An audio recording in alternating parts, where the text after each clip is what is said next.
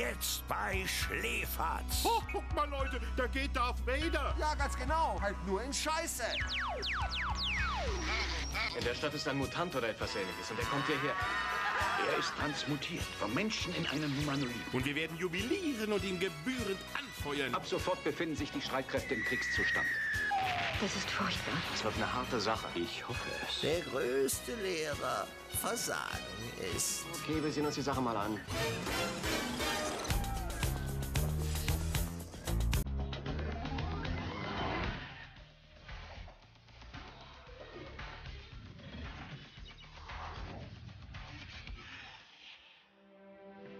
Gegrüßt seid, Zuschauerliebe, ganz herzlich. Euch nicht zu sehen zwar, aber zu wissen um euch, mein Herz aufs Wärmste erfreut. Und meins nicht nur, auch seins natürlich. Denn immer zu zweit wir sind, keiner mehr, keiner weniger. Ein Meister und ein Schüler. Falsch! Ein Vollidiot und sein Pfleger, so sieht's mal aus. Und falls diese kolossal kläglichen Krächzlaute, mit denen du unsere Zuschauer bisher bumsblöd belästigt hast, deine beste Yoda-Stimmimitation darstellen, dann lass dir sagen, du klingst nicht etwa wie der kleine, grüne, weise, 900 Jahre alte Jedi-Großmeister, sondern wie Pumuckel bei der Prostata-Untersuchung. Oh, viel zu lernen du noch hast, dicker Kalkwalker. Dein Zorn ein Pfad zur dunklen Seite ist. Lass doch von dieser Scheiße sein, verstanden? Mann, wie kannst du es überhaupt wagen, hä? Du, du, du, du, willst doch mit deinen schäbigen Star Wars-Sperenz hier nicht etwa ernsthaft eine Reziprozität zu unserem heutigen Schläferz herstellen, oder? Also, Äh, naja, schon. Und zwar ernsthaft, Olli. Äh, Weil das tut unser heutiger Schläferz schließlich selber, ne? Sozusagen mit aller Macht, nicht wahr? noch Unsinn. Nur weil in den späten Post-Star Wars 70ern die komplette italienische Filmindustrie durchgedreht ist und wie besessen einen hirnverkokelten Lukas Billig Rip-Off nach dem anderen aus dem bepissten Plagiats-Pizzaofen gezogen hat, hast du kein Recht, die Zuschauer mit deinem Yoda-Schmierentheater heimtückisch in die Tele 5 irre zu führen. Und ob, und ob. Eine kurzfristige Krieg der Sterne Erwartungshaltung aufzubauen, das ist hier doch gute Sitte. Das hast du doch schließlich anno 2017 bei Star Crash noch wesentlich heimtückischer versucht, Olli. Und das war quasi mein Vorbild. Was? Ja. Also, also da hört sich, da hört sich doch wohl wirklich alles auf, liebe Zuschauer. Ich meine, das ist ja wohl, also, also ehrlich, oder? Ich sage nur Star Wars.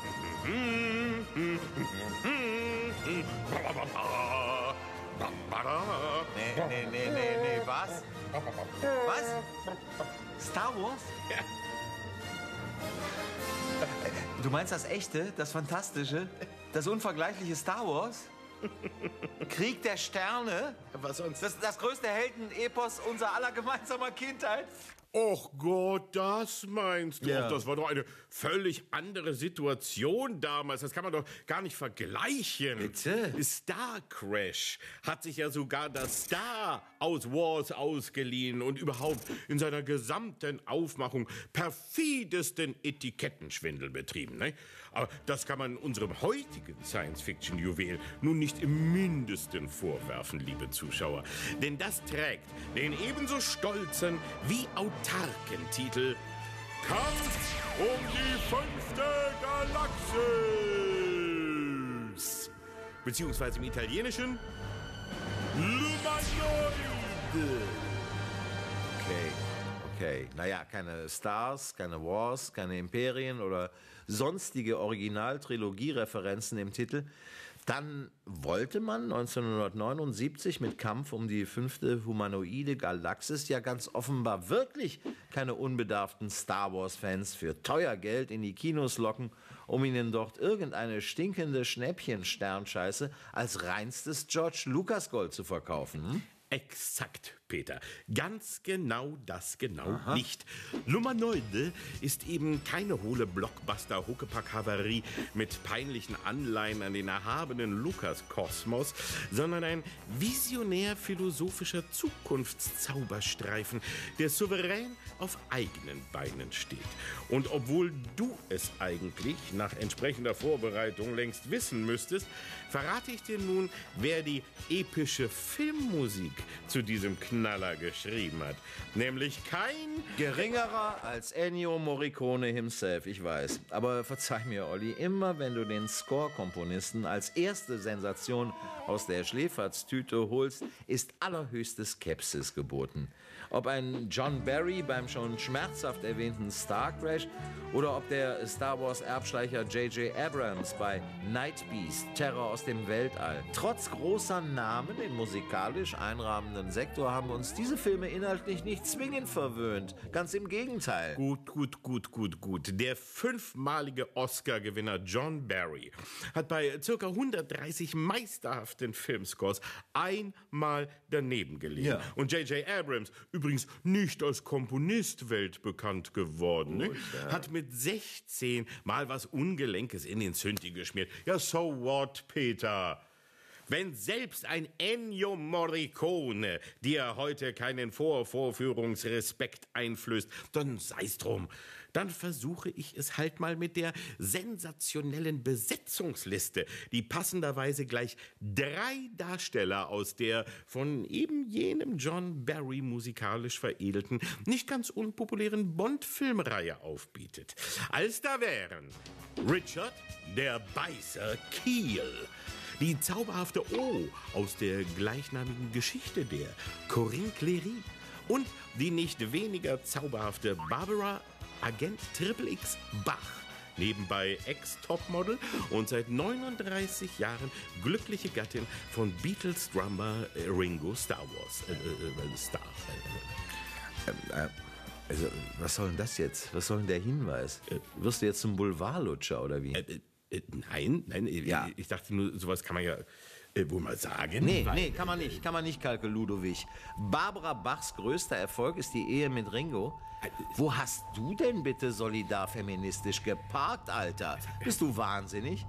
Mal egal, ich habe ich hab sowieso den Eindruck, du betreibst hier zusammenhangloses Legendendropping, um den Streifen wieder mal schön an der Wirklichkeit vorbei zur unbedingten Sehenswertigkeit zu quatschen. Aber mir charmanten Judaismus verbieten. Also schön, Meister Morricone an der Fiedel, Frau Bach, Herr Kiel und die unterwürfige Frau Clery als Linsenfutter. Was möchtest du uns noch über den, die Regisseurin von Lumanoide frohlockend unterjubeln? Du, ich, du, ich kann auch äh, sehr gerne einfach gar nichts mehr sagen, Peter. Hm? Wie wäre das denn? Hä? Nee, kannst du nicht. Doch. Kannst du nicht. Das ist ausgeschlossen, Olli. Kannst du eben nicht. Und das weißt du besser als ich. Du musst klugscheißern, um nicht zerebral zu implodieren. Mach dir doch bitte nichts vor, Olli. Du kannst es nicht.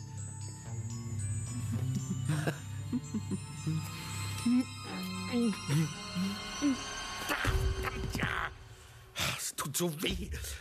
Ich kann einfach. Gut, also. Regie führte nicht etwa irgendwer, sondern er, Aldo Lado höchst selbst, liebe Zuschauer. Der anerkannte Maestro des sogenannten Giallo, dem unterkühlt brutalen italienischen Subgenre des Psychothrillers, bewies bei seinem Ausflug ins gehobene Science-Fiction-Fach, dass er mühelos auf jedem Parkett kann und verlieh dem Kampf um die fünfte Galaxis eine inszenatorische Tiefe, die bis heute in diesem Segment unerreicht blieb. Allerdings tat er das unter dem Pseudonym George Lewis, was wohl als kleine, augenzwinkernde Hommage an George Lucas verstanden werden darf.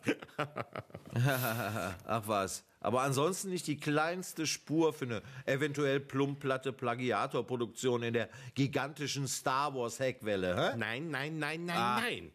Wie schon gesagt, außer dem generellen Space Opera Sujet hat der Kampf um die fünfte Galaxis rein gar nichts mit der Lukas-Saga gemein, sondern setzt auf eine komplex intelligente, völlig eigenständige Storyline. Hm, erstaunlich, erstaunlich.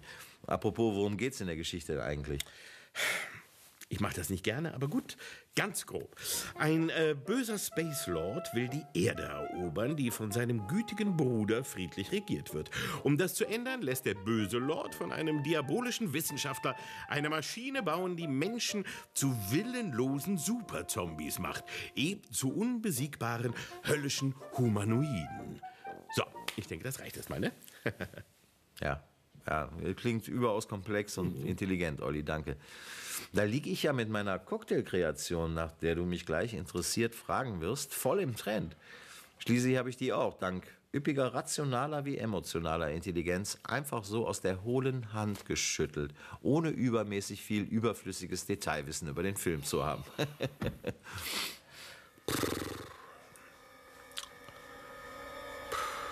ja, Ja, Mann! Was, äh? ja, mach mal. Ja, immer dasselbe. Weißt du, das geht mir vielleicht so auf den Sack. Was du. denn? Man sag's doch bitte einfach, ohne dass ich danach fragen muss. Dann musst du mir nicht jedes Mal sagen, dass ich scheiße normal danach fragen soll. Meine Güte. Mann, das sind aber Kleinigkeiten heute. Gute Güte. Meinetwegen, dann sag ich's halt ohne, dass du fragst. Ja. Das ist ein galaktisch praktisch guter Hirnanhangdrüsenfluter.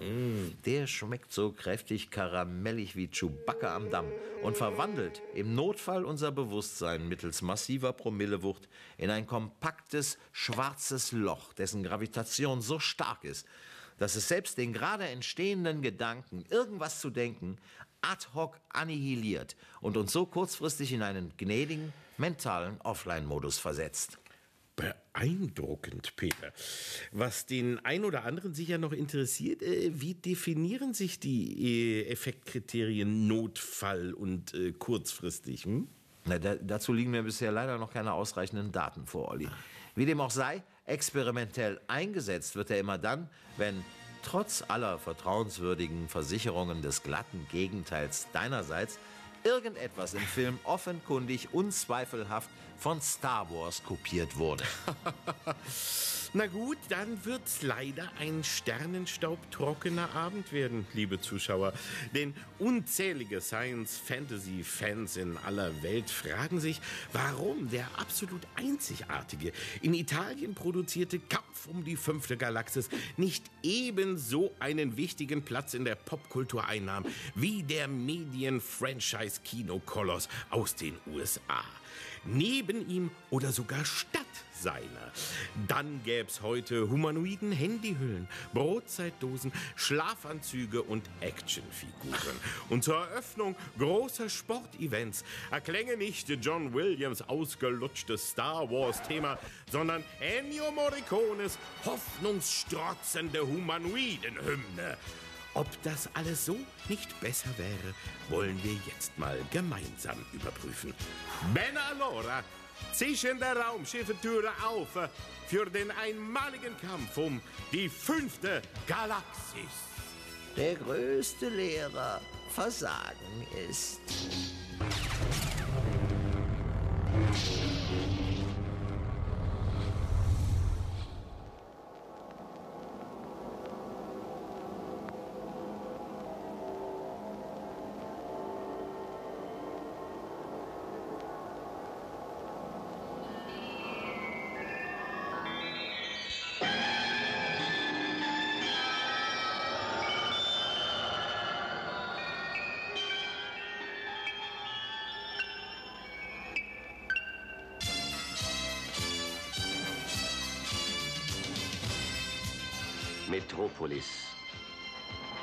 Unendlich langer Zeit als Planet Erde bekannt, steht vor seiner schwersten Stunde. Lord Graal ist es gelungen, von seinem Gefängnissatelliten zu entfliehen, wohin ihn sein Bruder, der Herrscher der friedlichen galaktischen Demokratie, verbannt hatte. Der machthungrige, skrupellose Lord Graal schmiedet Rachepläne, deren Gelingen der Menschheit eine düstere und ungewisse Zukunft bringen würde.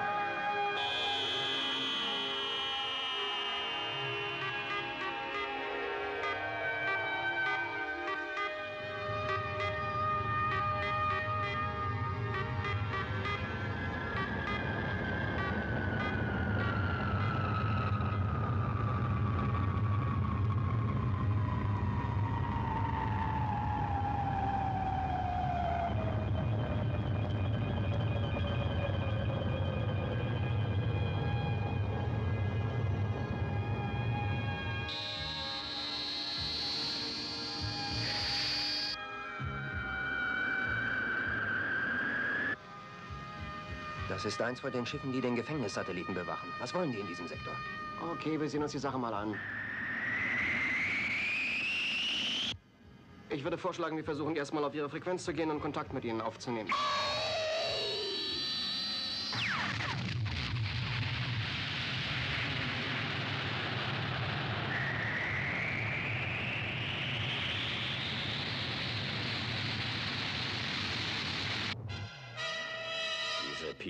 Waren ängstliche Hasen und keine Männer. Mein verehrter Bruder hat aus der großen Armee einen Haufen jämmerlicher Schwächlinge gemacht. Astrojäger bereit zum Start. Wie weit sind wir von Metropolis entfernt? Nahe dem Schwerkraftbereich.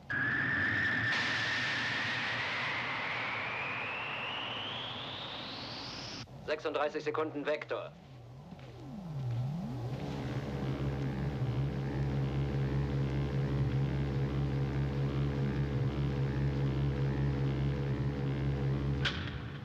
Sie werden keinen Fehler machen. Meine Instruktionen sind eindeutig. Ich will, dass es keine Überlebenden gibt, verstanden? Das gilt besonders für Barbara Gibson. Keine Überlebenden, Roger.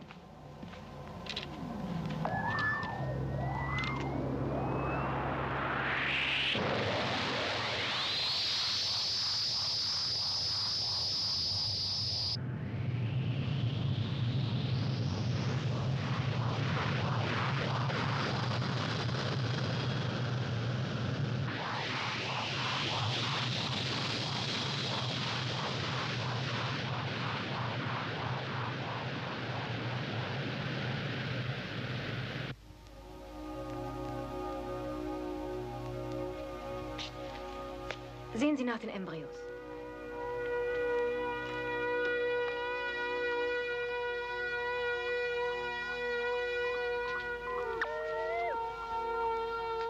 Barbara Gibson, ein Telekom für Sie.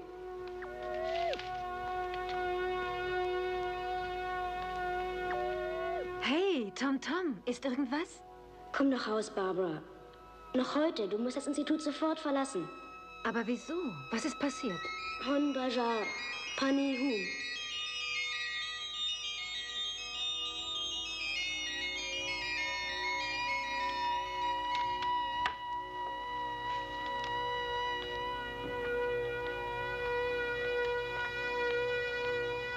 Bitte übernehmen Sie für mich. Ja.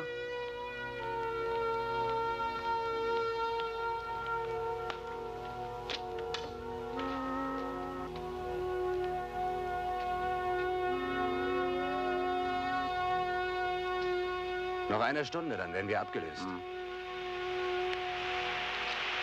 Wo wollen Sie denn um diese Zeit hin, Barbara? Sieht aus, als hätte sie die Alpha-Pillen genommen. TBA 3421 erbittet Erlaubnis zum Verlassen des Geländes. Sie können passieren, Miss Gibson.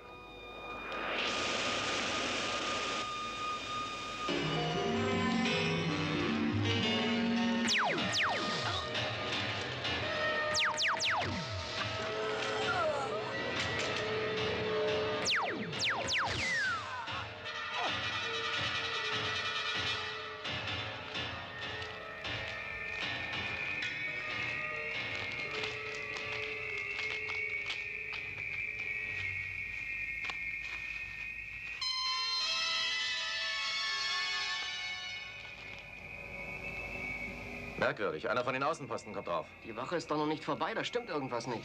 Ach was, hier passiert doch nie was. Er wird sich langweilen.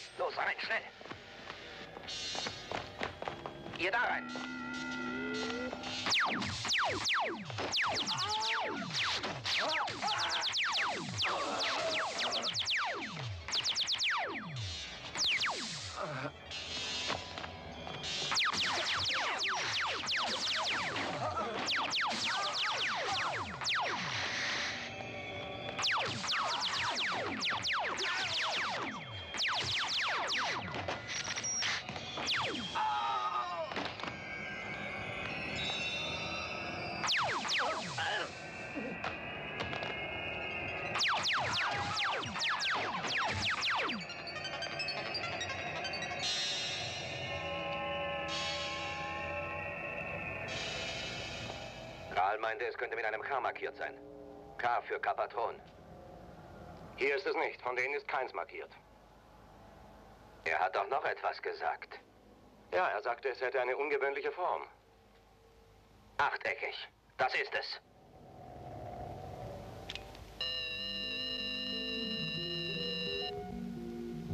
Los, hol es. Wir müssen weg.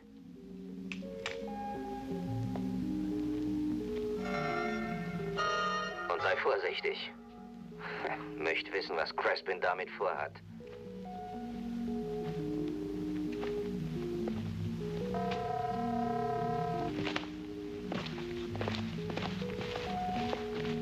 Ihr geht schon voraus. Ich sehe mich hier noch mal um. Kral wollte unbedingt, dass wir diese Barbara Gibson töten. Das ist sie nicht. Wenn wir sie nicht erwischt haben, können wir uns auf was gefasst machen.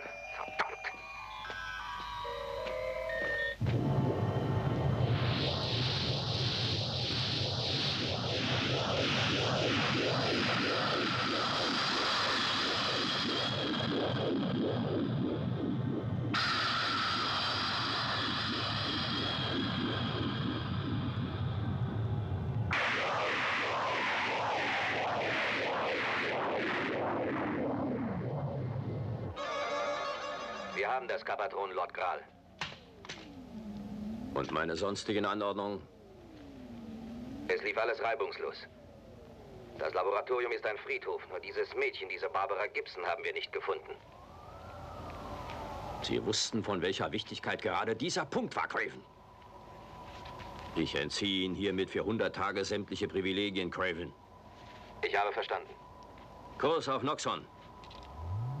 Wir haben das Kapatron. Und das war der Hauptgrund unserer Aktion.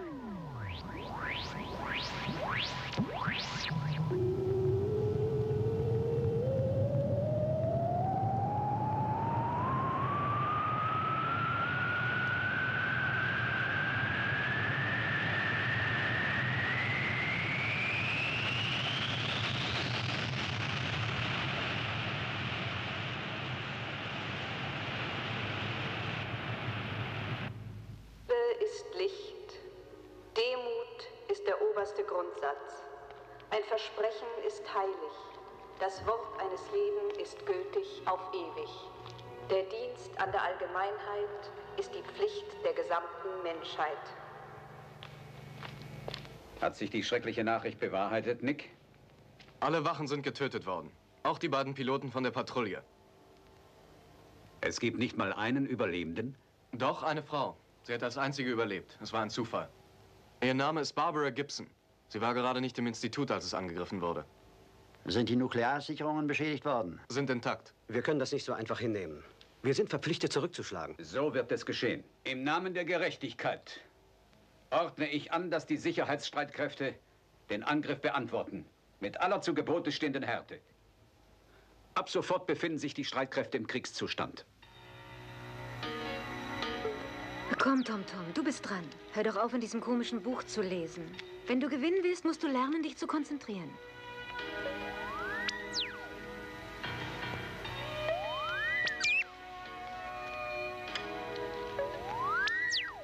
Darf ich den Computer benutzen? Aber ja, natürlich.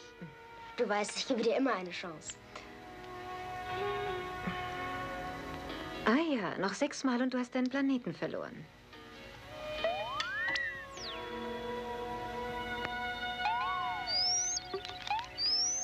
Es tut mir leid. Du hast verloren, Barbara. Das ist völlig unmöglich. Das hat irgendwas mit Zauberei zu tun. Ich kann dich nicht mehr mit Hilfe des Computers schlagen. Und der errechnet Gleichungen mit Tausenden von Unbekannten. Wo um alles in der Welt hast du nur so gut spielen gelernt? An einem Ort, der viele Äonen von hier entfernt ist. Nun ja, ich begreife es nicht. Es ist einfach zu hoch für mich. Alles an dir ist mir ein Rätsel. Du bist ein wahres Mysterium, Tam Tam. Wirklich? Ich habe schon viele Schüler gehabt, aber noch niemals einen wie dich. Und was weiß ich eigentlich über dich? Selbst dein Name ist geheimnisvoll. Lokan Dharma. Lokaniwa Dharma. Da siehst du's. Was für ein Name. Ich kann ihn nicht mal richtig behalten. Oh, er bedeutet Ozean der Weisheit. Aber Tom Tom mag ich auch. Sag mir doch, warum ich unbedingt das Laboratorium verlassen sollte. Lassen Sie uns bitte allein. Ich warte in der Halle. Es war wirklich sehr klug, dass Sie das Verschwinden des Kapatrons aus Groven nicht erwähnt haben. Wenn dies in den fünf Provinzen bekannt würde, hätte das eine Panik zur Folge. Sir, nicht einmal ich weiß alles über das Kapatron. Ist es wirklich so gefährlich? Ja, unvorstellbar gefährlich. Es war die Entdeckung des genialsten Wissenschaftlers, den Metropolis in diesem Jahrhundert hervorgebracht hat, Dr. Crespin. Das Kapatron ist in der Lage, die Zellstruktur jedes Wesens zu verändern, es zu transmutieren in ein furchtbares, monströses Gebilde. Ein Mensch zum Beispiel würde unvorstellbare Kräfte entwickeln. Und entwickelt hat er das Kapatron im Groven-Institut. Er konnte dort praktisch machen, was er wollte. So lange, bis Barbara Gibson rein zufällig auf die schrecklichen Folgen seiner Arbeit stieß. Sie hat mich sofort unterrichtet. Es war für uns alle eine schwere Entscheidung. Wir entzogen ihm alle Mittel, das Projekt wurde gestoppt und das Kapatron sichergestellt. Crespin wurde auf einen Satelliten verbannt, aber vor zwei Jahren befreit. Hören Sie, wir müssen herausfinden, wo Crespin festgehalten wird. Zuerst sollten Sie mit Miss Gibson Kontakt aufnehmen. Sie haben jede Unterstützung. Ich halte Sie auf dem Laufenden.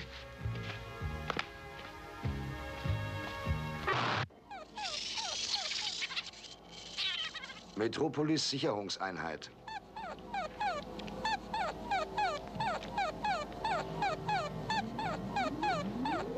Bestätigen Sie Delta 240. Äh, bitte Bestätigung. Das sieht ziemlich böse aus, was, Kip? Wir sind vom Kurs abgekommen und das äußere Navigationscomputersystem ist ausgefallen. Die können keinen Ton mehr von mir empfangen. Großalarm, Großalarm, Metropolis. Verflucht, wenn mir doch nur einer sagen würde, was auf Metropolis vorgeht. An alle Raumschiffe. Metropolis Sicherungseinheit, bitte melden. X26, können Sie mich hören? Metropolis Sicherungseinheit, melden Sie sich. Verdammt, X26, was ist jetzt?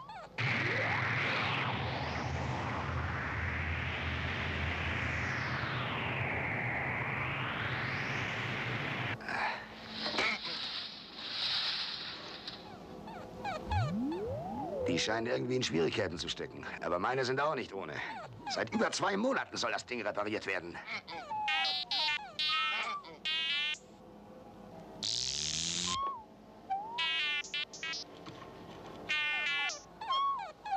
Hast du einen Kurzschluss in deinem System oder was? Ich habe jetzt keinen Sinn für Spielereien. Ich frage mich, welcher Irre dich programmiert hat.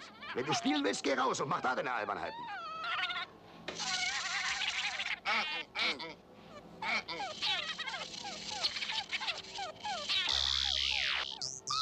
Ja, ja, ist ja gut, Kleiner. Irgendwie kommen wir aus der Sache raus. Das Schlimmste, was uns passieren könnte, ist, dass wir 2000 Jahre im Gefrierfach liegen müssen. Es ist immer noch besser, als an einem Schreibtisch zu hocken.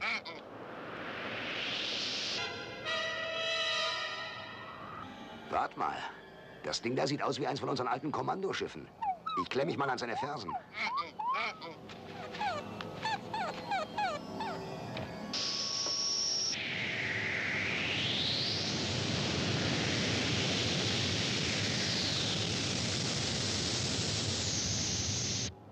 Lord Kral, die X-37 sendet Notsignale.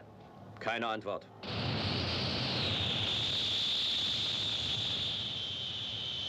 Die müssen mich doch gehört haben. Haben die sich mit komischen Pillen vollgestopft oder was ist da los? Und deshalb bin ich der Meinung, dass Crespin seine Hand im Spiel hat. Was meinen Sie dazu? Das ist furchtbar. All meine Freunde im Groven-Institut. Sie sollten glücklich sein, dass Sie das Institut rechtzeitig verlassen haben. Sind Sie gewarnt worden? Tom Tom.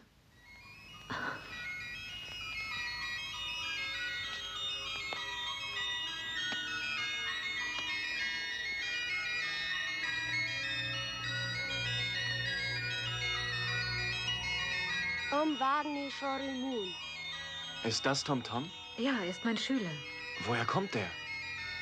Und was sind das für Gestalten? Ich weiß es nicht. Sie tragen so merkwürdige Kleidung. Ich habe keine Ahnung, wer sie sind. Ich habe sie noch niemals gesehen. Er wird's ja wohl wissen. Wer waren diese beiden? Sie sind nicht von hier. Ja, das konnte ich auch sehen. Was wollten Sie? Nichts? Aber Sie haben mit dir gesprochen, Tom Tom. Ja, das haben sie. Aber glaubt mir, sie wollten wirklich nichts. Tom Tom, ich frage dich nochmal. Warum sollte ich das Institut verlassen? Es war eine Ahnung, Barbara. Früher nannte man das das zweite Gesicht. Darüber sind wir eigentlich hinaus. Auf jeden Fall hat sie verdammtes Glück gehabt. Also, fangen wir die Sache von vorne an. Zuerst mal sagen Sie mir alles, was Sie über das Kapatron und Dr. Craspin wissen.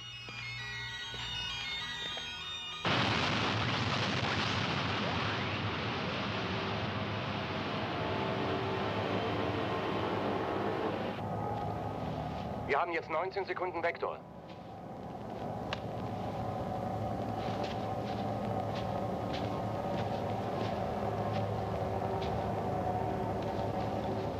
Die Retro-Raketen aktivieren.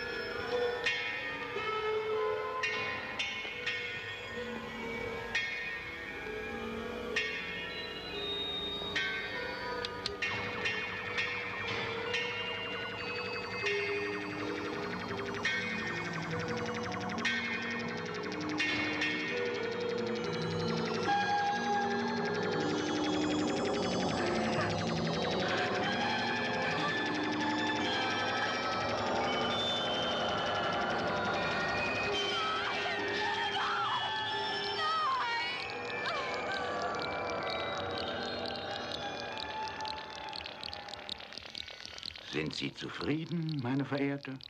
Das bin ich niemals, Craspin, und das wissen Sie. Wie kann ich zufrieden sein, wenn ich weiß, dass die Wirkung nur einen Tag anhält? Habe ich Ihnen die Formel nicht versprochen, wenn wir Noxon erst einmal verlassen haben? Ich muss Sie um Geduld bitten. Inzwischen wird Lord Grahls Bett auch weiterhin durch ihre unvergleichliche Schönheit geschmückt werden, so wie es seit vielen Jahren der Fall ist. Aber eins dürfen Sie niemals vergessen.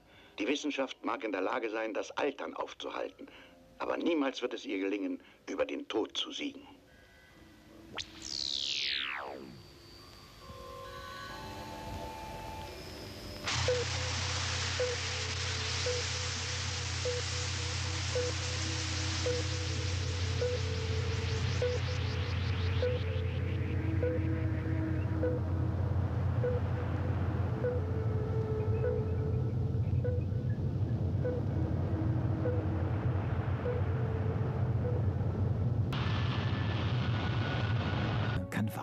Fühlt sich einfach so unwiderstehlich frisch an. Und mit Lenore Weichspüler und Wäscheparfum in der Wäsche genieße ich jede Nacht das Gefühl eines frisch gewaschenen Bettes. Eine ganze Woche lang. Ich fühle mich wohl in Lenore.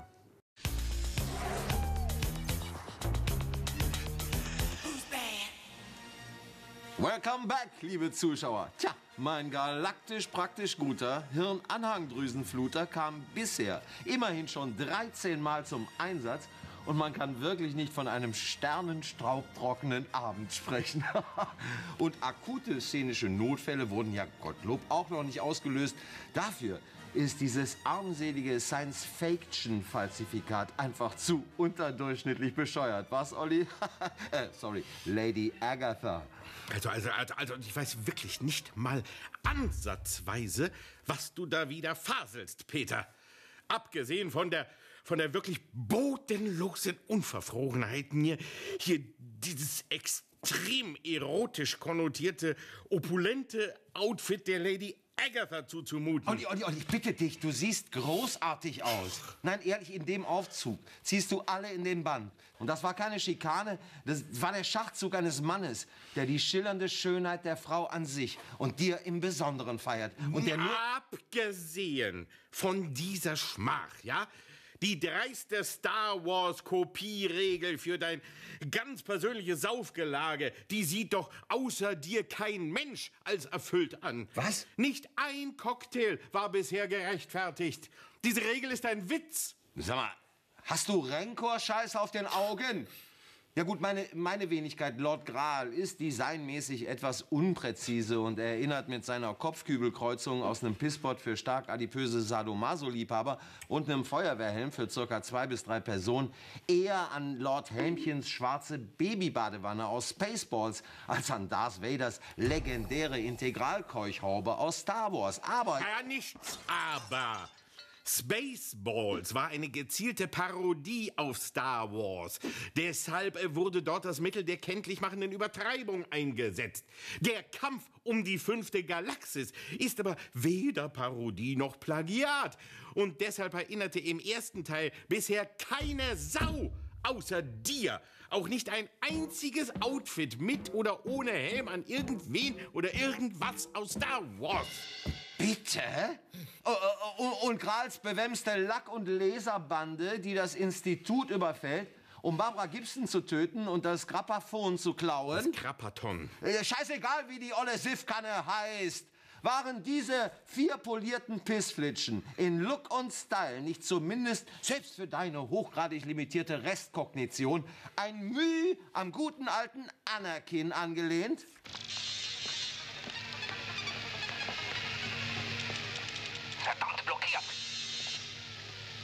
Nein, Peter. Bis auf dieselbe Synchronstimme hat Lord Graal keinerlei Parallelen zum Sith Lord. Nur weil seine Truppen zufällig ganz in Schwarz gekleidet sind, rufst du ja auch nicht bei jedem äh, Schornsteinfeger, den du siehst, ganz aufgeregt: Oh, guck mal, Leute, da geht Darth Vader, oder? Aber du, du, du, du, du, du, du, du stehst ja mit deinem Realitätsverlust kurz vor der geistigen Insolvenz, Olli. Ja, okay, okay, okay. Lassen wir die Kostümfrage mal beiseite. Und lassen wir auch den leicht angeschrägt vom unteren zum oberen Bildrand laufenden weltberühmten Scrolltitel mal großzügig beiseite. Den hat ja nun mal George Lucas nicht erfunden. Hm?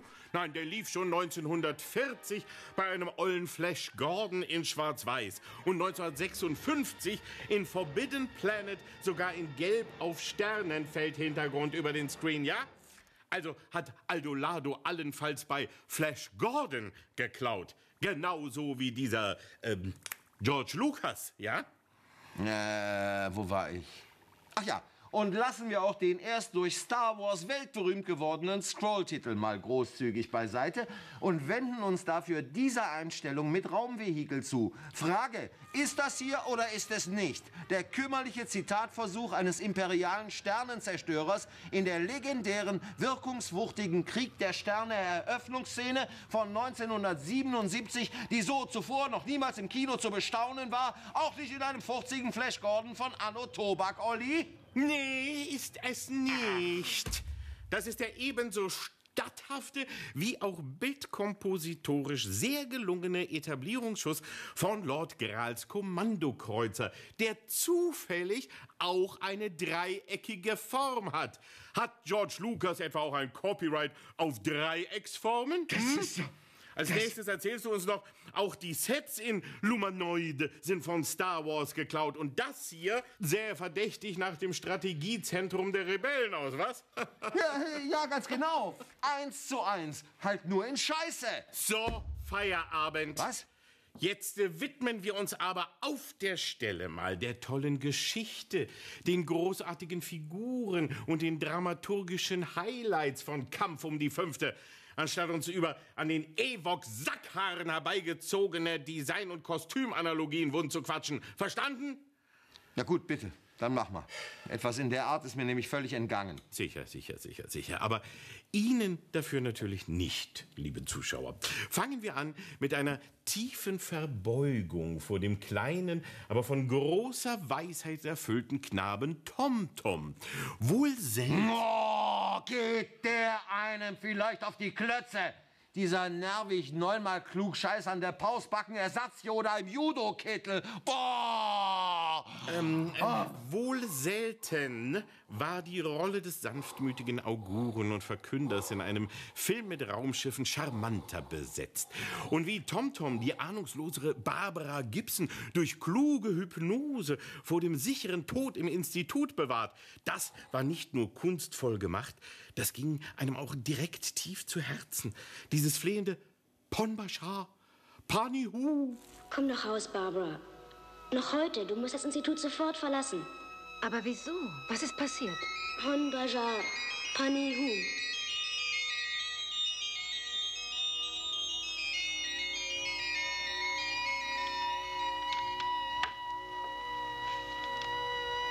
Okay, du hast einen akuten Scheißfilm Schönfindschub. Dagegen kann man nicht antherapieren. Aber erklär uns doch mal bitte, warum dein netter kleiner philanthropischer Esoterikengel zwar seine Fanfreundin Barbara Gibson vor Grals grenzdebilen Knallkopfkillern rettet, den Rest des Institutpersonals aber nicht informiert und einfach gnadenlos niedermetzeln lässt. Wäre da eine Massenhypnose nicht besser gewesen? Hm? Ja, wenn du aufgepasst hättest, dann wüsstest du, dass der Ozean der Weisheit nur einer vagen Intuition bezüglich Barbara Gibsons zukünftigem Wohlergehen folgte, nicht aber dem des Restpersonals. Tom, Tom, ich frag dich nochmal. Warum sollte ich das Institut verlassen? Es war eine Ahnung, Barbara. Früher nannte man das das zweite Gesicht. Na logisch, er konnte in seiner Vision ja viel vorausahnen, aber nicht, dass die Irren da alles und jeden wegpratzen würden, schon klar. Ne? Schließlich ging es dem notorisch narzisstischen Blach ja auch nur darum, seine ihm erlegene Groupie-Nanny zur ausgiebigen Bestaunung seiner famosen Fähigkeiten beim bepissten Pong-Spielen am Space Atari zur Verfügung zu haben. Darf ich den Computer benutzen? Aber ja, natürlich. Du weißt, ich gebe dir immer eine Chance. Tja, liebe Zuschauer, wenn Peter jetzt jedem Wesen, das ihm intellektuell wie auch ethisch hoch überlegen ist, Arroganz und Selbstverliebtheit vorwerfen will, sind wir morgen früh noch dran. Wenden wir uns deshalb zügig einem weiteren genuinen Extraschmankerl des Films zu, nämlich... Oh, oh, aber bitte nicht. Der rotzhässlichen, räudigen R2D2 Substitut Robotöle mit dem steifen Antennenschwänzchen und der Polaroid-Printerfresse. Ivo. Ich meine, so eine Kreatur wirkt ja zum Glück gar nicht mit. Ne? Dafür aber Kip, der pfiffige, multitalentierte Roboterrüde, der uns mit seinen köstlichen Kapriolen schon so häufig ein Lächeln aufs Gesicht zauberte. Hast du einen Kurzschluss in deinem System oder was? Ich habe jetzt keinen Sinn für Spielereien. Ich frage mich, welcher Irre dich programmiert hat. Wenn du spielen willst, geh raus und mach da deine Albernheiten.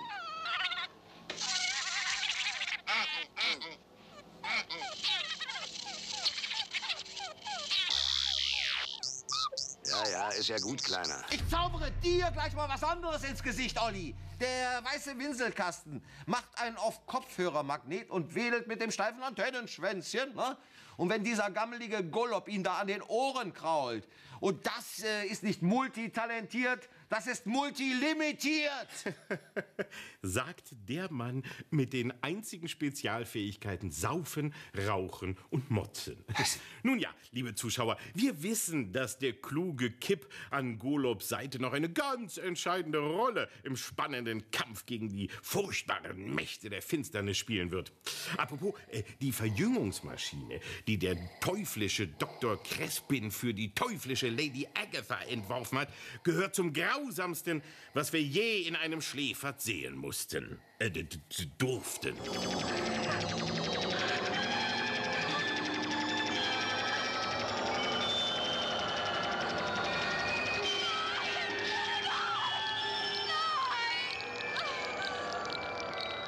Da gebe ich dir allerdings recht, Olli. Gegen diese perverse Impfpornoszene sind sämtliche Saw-Streifen eher sanfte Softfolter-Exzesse zum Entspannen. Und auch stimmig übertreiben kann er so gar nicht, unser Peter.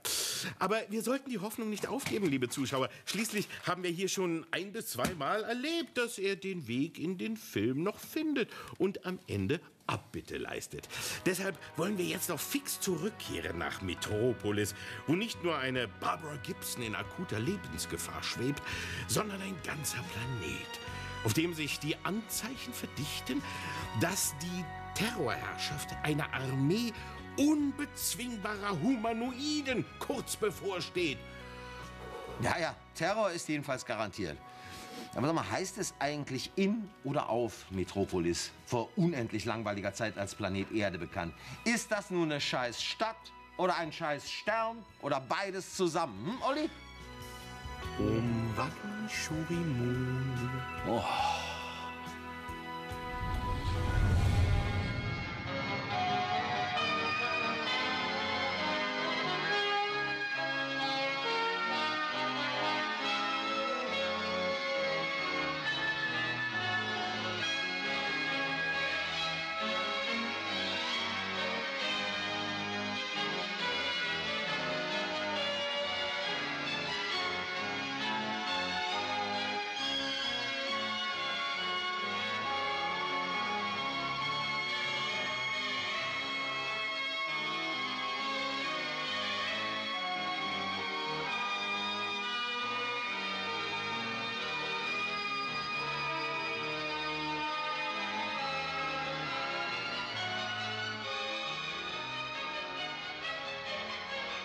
Er ist also wirklich gekommen, Ihr unbezwingbarer Freund. So wie er es versprochen hat. Lord Gral pflegt seine Versprechen immer zu halten. Ganz besonders, wenn sie in seinem eigenen Interesse liegen. Sie sollten das niemals vergessen, Crespin.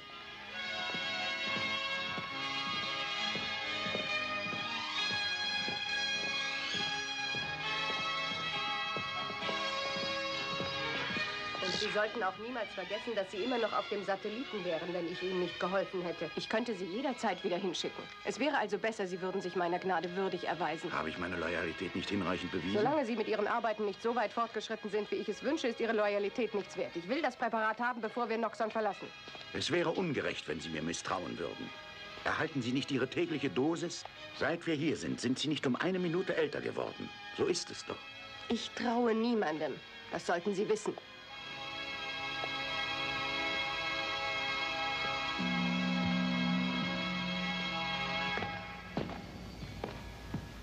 Willkommen in Noxon, mein allmächtiger Lord. Du bist noch wundervoller, als ich in meinen Träumen erhofft hatte. Die Zeit scheint für dich stehen geblieben zu sein. Mein Kompliment, Dr. Crespin. Sie haben etwas Außerordentliches geleistet. Für Sie, mein Lord, und die Eroberung von Metropolis. Eine Aufgabe, die sehr schwer sein wird. Abgesehen von Streitkräften und Waffenpotenzial besitzt Metropolis ungeheure Nuklearreserven. Mein Plan sollte uns in eine gute Position bringen. Ich werde uns eine Armee von Humanoiden schaffen. Unzerstörbare menschliche Roboter. Alles, was ich dazu benötige, ist das geheime Element, das Sie hoffentlich für mich erobert haben. Ja, das habe ich. Unser Angriff auf das Institut war ein außerordentlicher Erfolg. Und wo ist sie? Ist sie getötet worden? Bedauerlicherweise war Barbara Gibson nicht im Institut, als meine Männer angriffen. Aber sagen Sie mir, warum, Crespin, hassen Sie das Mädchen so sehr? Sie hat all die Jahre harter Arbeit zerstört. Ich bin verbannt worden durch ihre Schuld. Und nur ihr Tod kann den Hass in mir auslöschen. Ich bin sicher, wir werden noch eine Gelegenheit dazu finden.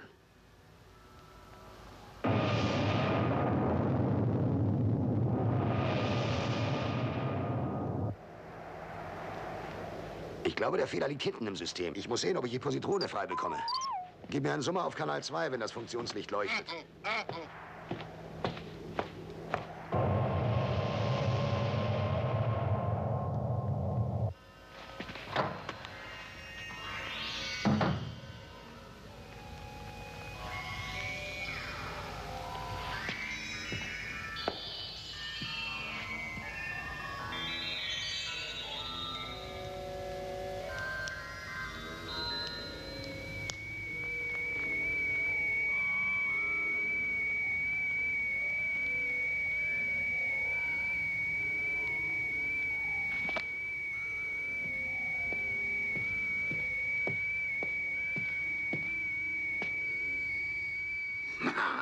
Das ist genau der, den ich brauche.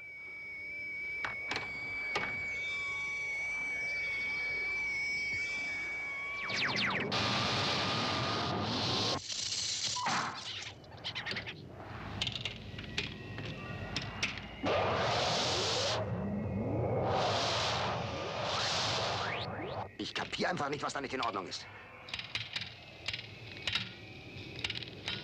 Ich kann das Schiff nicht mehr kontrollieren.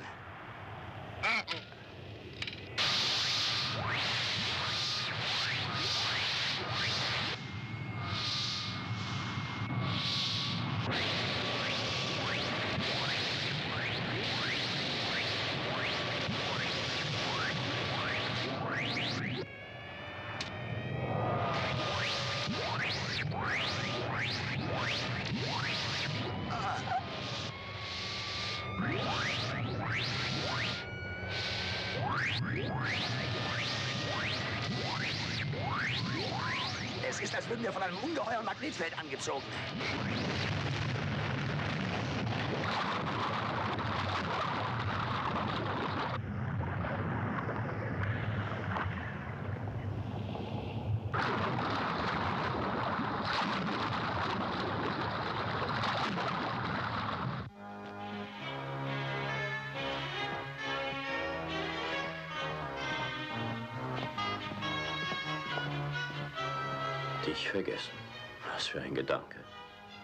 Jahre Exil, vier Jahre haben den brennenden Wunsch, dich wiederzusehen, in mir nur verstärkt.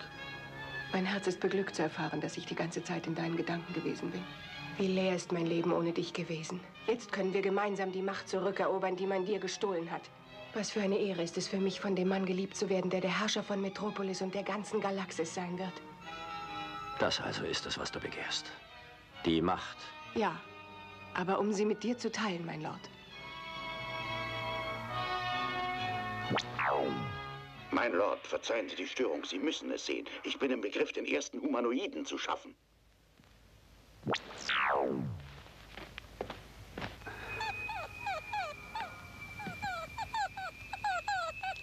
Ich irre mich vielleicht, aber ich glaube, wir sind auf einem der Monde im Chloe-System gelandet. Die Atmosphäre ist die gleiche wie auf unserem Planeten.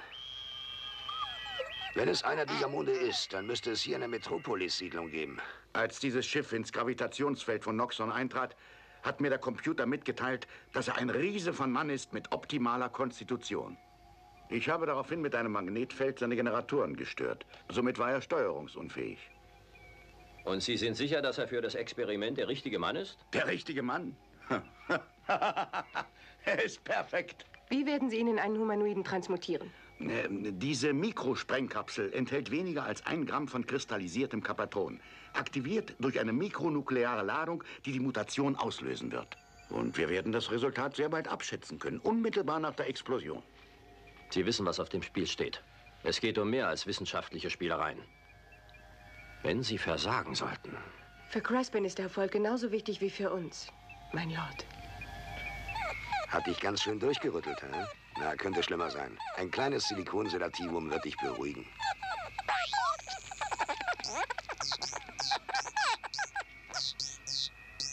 Aber ich glaube, ich, ich muss noch mal zurück und eins von den Xenophonen bergen, damit wir Notsignale senden können. Weißt du was, Kip? Ihr Robohunde habt uns Menschen gegenüber einen verdammten Vorteil. Ihr braucht keine Berichte zu schreiben. Ich bin gleich wieder da.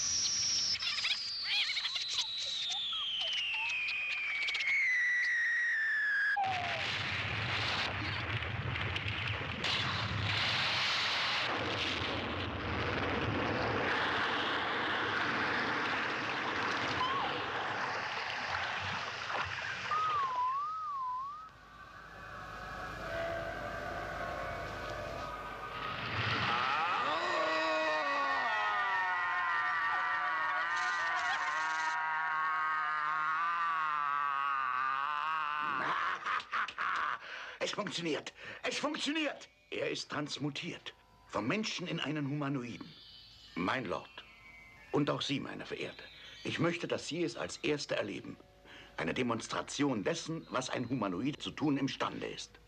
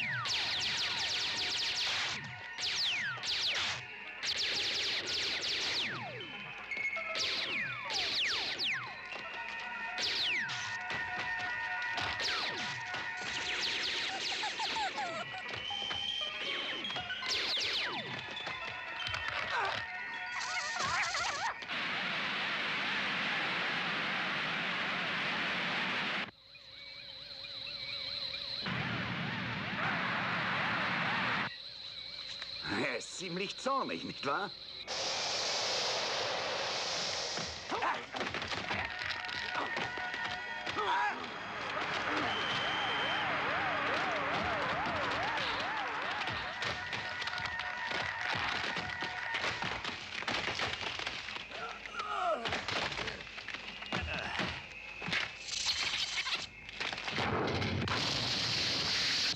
Sehen Sie, er kämpft, bevor er denkt. Wollen Sie ihn aufhalten? Mit einem ganz speziellen narkotischen Gas. Ich zeige es Ihnen.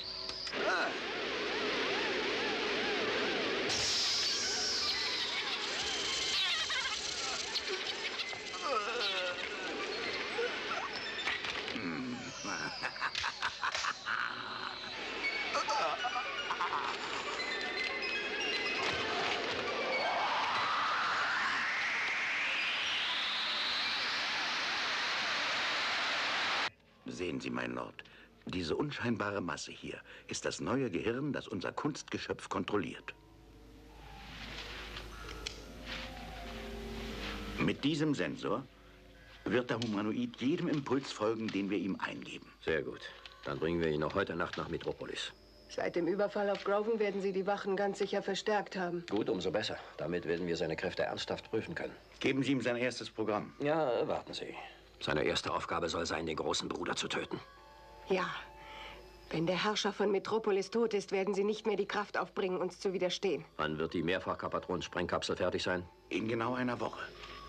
In sieben Tagen wird Metropolis von einer riesigen Armee von Humanoiden bevölkert sein. Unter ihrem Kommando.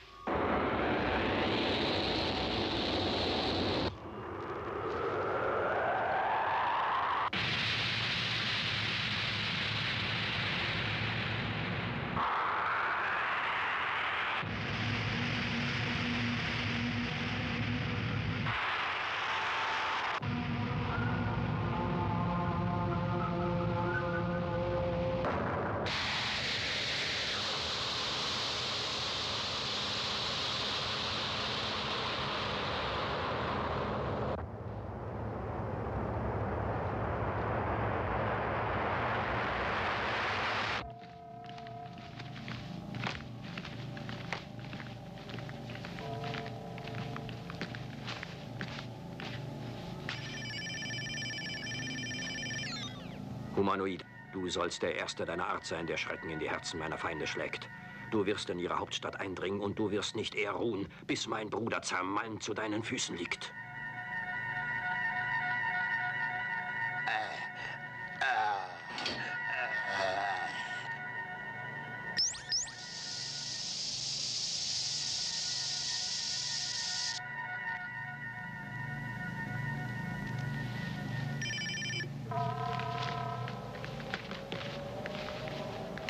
Metropolis voraus, mein Lord. Bereiten Sie alles vor, den Humanoiden von Bord gehen zu lassen. Er verlässt das Schiff unmittelbar außerhalb der Stadt. Verstanden, mein Lord.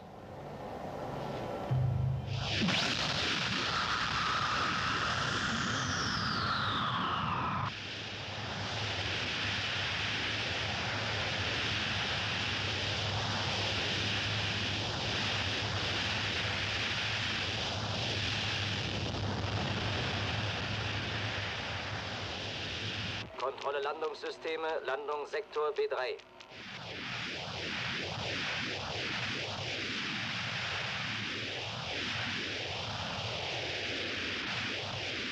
Drei, vier und neun auf null. Landung in sieben Sekunden.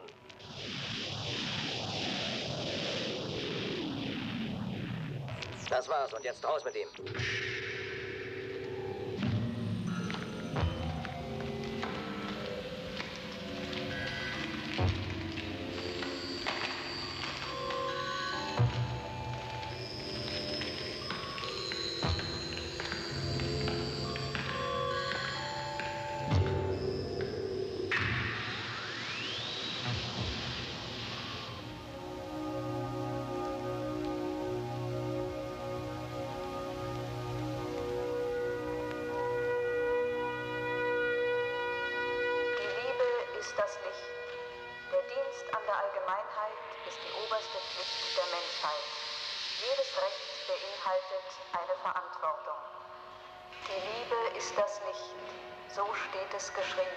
Niemand darf ohne Passierschein die Stadt betreten.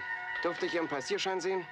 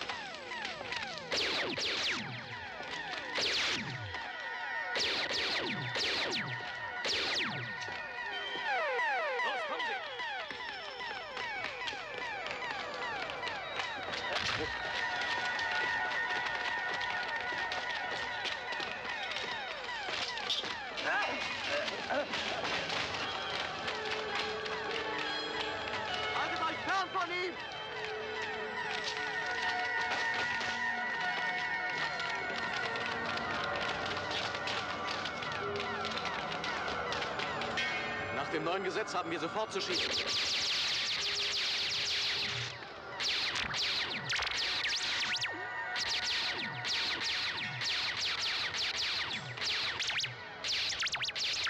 Der Palast muss um jeden Preis geschützt werden.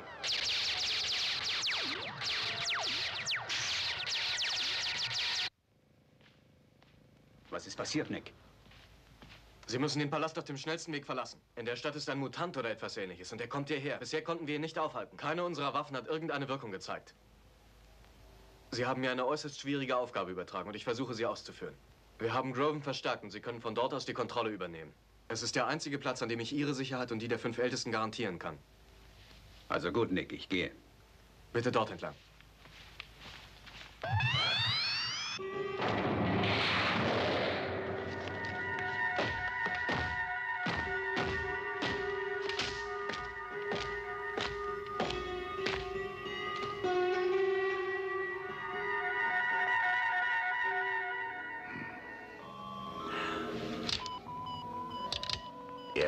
Groven-Institut.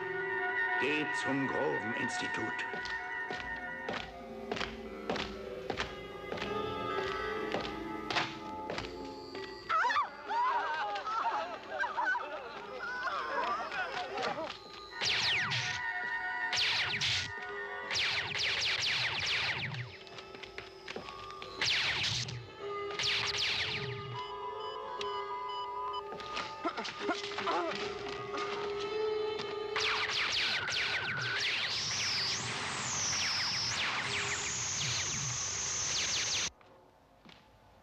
Er hat unsere Laserangriffe unverletzt überstanden. Auch das Nervengift und Mikronuklearwaffen zeigen keinerlei Wirkung. Es ist so. Er scheint unzerstörbar. Die Nukleargeschosse scheinen ihn nur noch stärker zu machen. Dann ist es klar, dass es ein Kapatron-Mutant sein muss. Was haben Sie sonst noch bemerkt? Tja, während des Kampfes hat einer meiner Männer dies hier gefunden.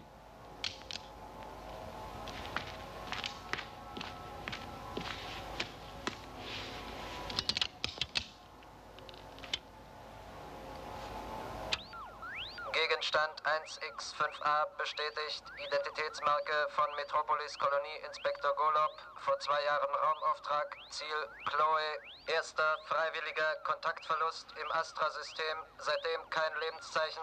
Ja, Moment, ich, ich habe von ihm gehört. Er ist ein großer, gütiger, sanfter Mensch. Nun ist er das nicht mehr, fürchte ich. Dieser Teil von ihm existiert nicht mehr. Ich möchte zuerst mal wissen, wer dahinter steckt. Vielleicht die Tektonen aus der fünften Galaxis. Ja, aber nur die Hilfstruppen aus der fünften Galaxis. Ja, aber dann müssten wir doch wissen, wer. Es kann nur Lord Gra sein. Mein Bruder.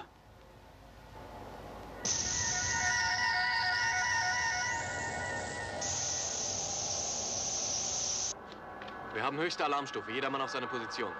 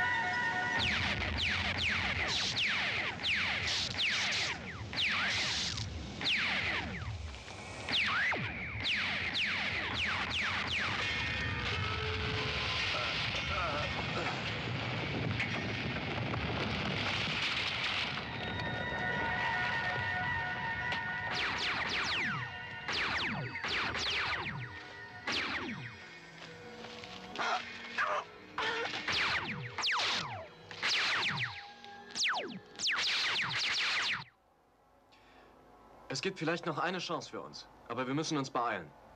Was soll das für eine Chance sein? Niemand kann diese Mutanten aufhalten. Aber wir müssen es versuchen. Kommen Sie bitte.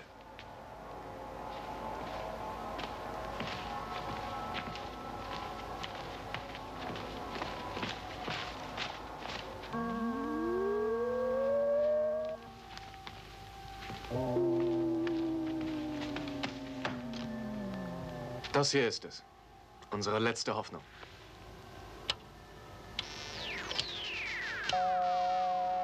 Diese Kugel besteht aus Kryptonmetall.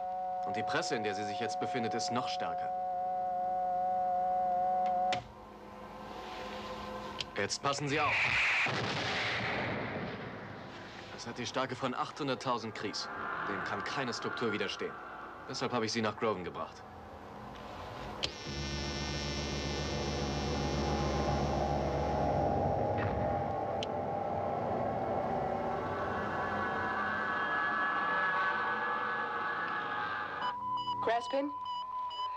Graal möchte einen Bericht vom Humanoiden. Ich habe ihn soeben auf das Magnetfeld des großen Bruders transportiert. Es gibt keinen Grund zur Sorge. Der Humanoid wird den großen Bruder finden und ihn töten. Wo ist er jetzt? Groven.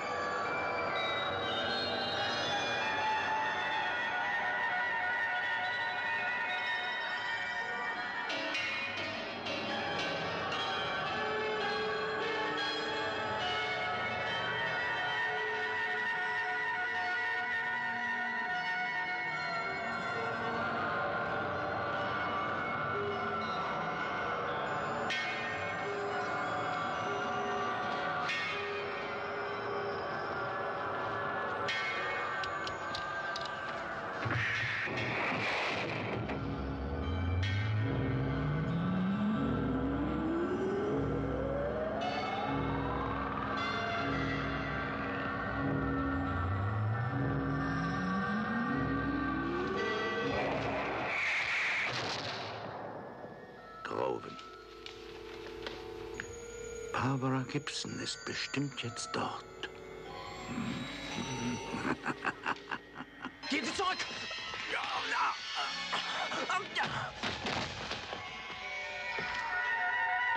Barbara Gibson. Töte zuerst Barbara Gibson.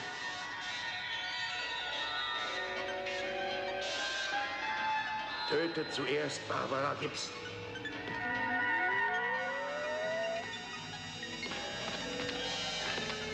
Sind Sie verletzt? Nein. Ich weiß nicht, wem wir das zu verdanken haben.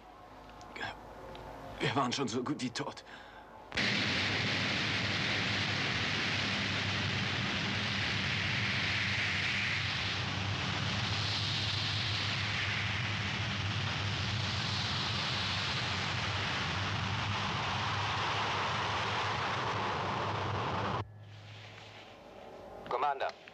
Was ist? wir treten in wenigen Momenten in Ihren Sicherheitssektor ein. Und weiter? Der große Bruder hat vollen Alarmzustand befohlen. Wir könnten in Schwierigkeiten geraten.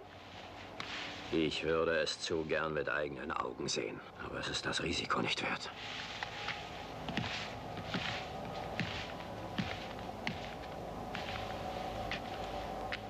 Befehlen Sie dem Nure-Kommando auf Metropolis, den Humanoiden nicht aus den Augen zu lassen. Wir starten noch ein Aufklärungsschiff zur Verstärkung. Wir werden außerhalb Ihres Sicherheitssektors bleiben.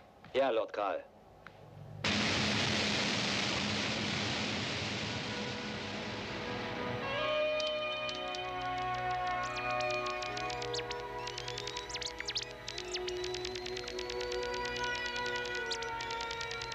Ist los, Barbara? Unser Leben ist in Gefahr. Und ich kann den Humanoid-Abwehrcode, den wir erarbeitet haben, nicht finden. Er ist unsere letzte Hoffnung.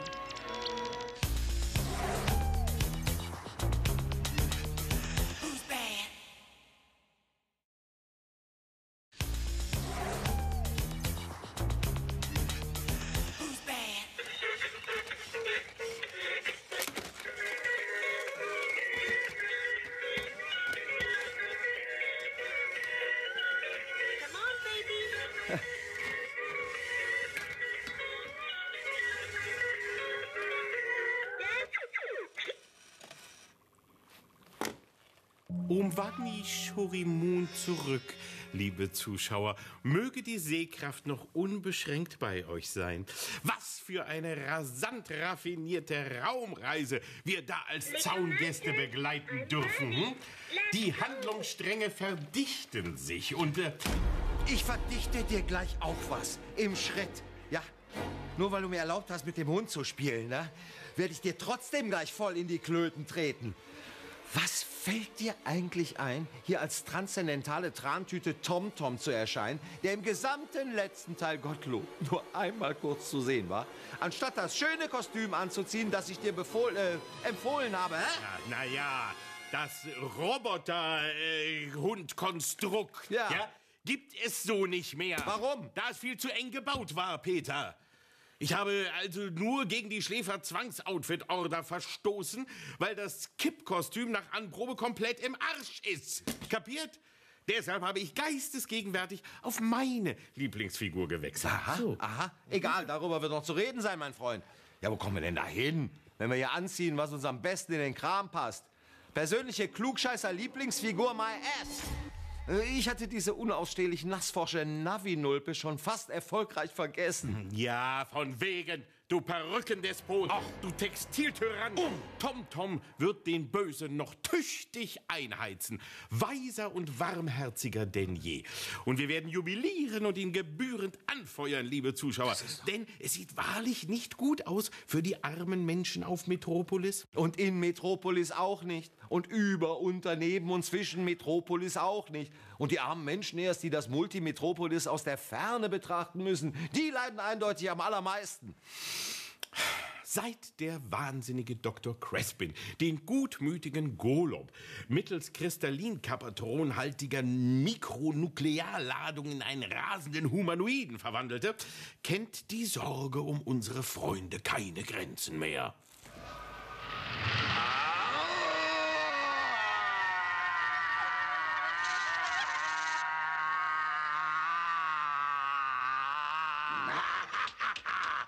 funktioniert. Es funktioniert. Er ist transmutiert. Vom Menschen in einen Humanoiden. Und die Sorge um den Geisteszustand von Regisseur und Drehbuchschreiber Aldo Lado kennt auch keine Grenzen mehr. Da stürzt Golob mit seiner Mühle erst in ein seltenes Wüstenbinnenmeer, kriegt dann eine Pocket-Atomrakete aufs Dach, hüpft im Wasser rum, ruft Aua. Und Dr. Kinski freut sich scheckig, weil Golob frisch rasiert und transmutiert ist. Die sind doch alle irre. Äh, Und warum bitte? Denkst du etwa, nach einem Kristallin-Kapatron-Nukleartreffer würde der Bart stehen bleiben? Du Fantast! du solltest sie lieber was schämen, die tolle Transmutationsszene anzuzweifeln, anstatt Richard Keels gänsehauterregende Schauspielleistung nach der Verwandlung zu loben.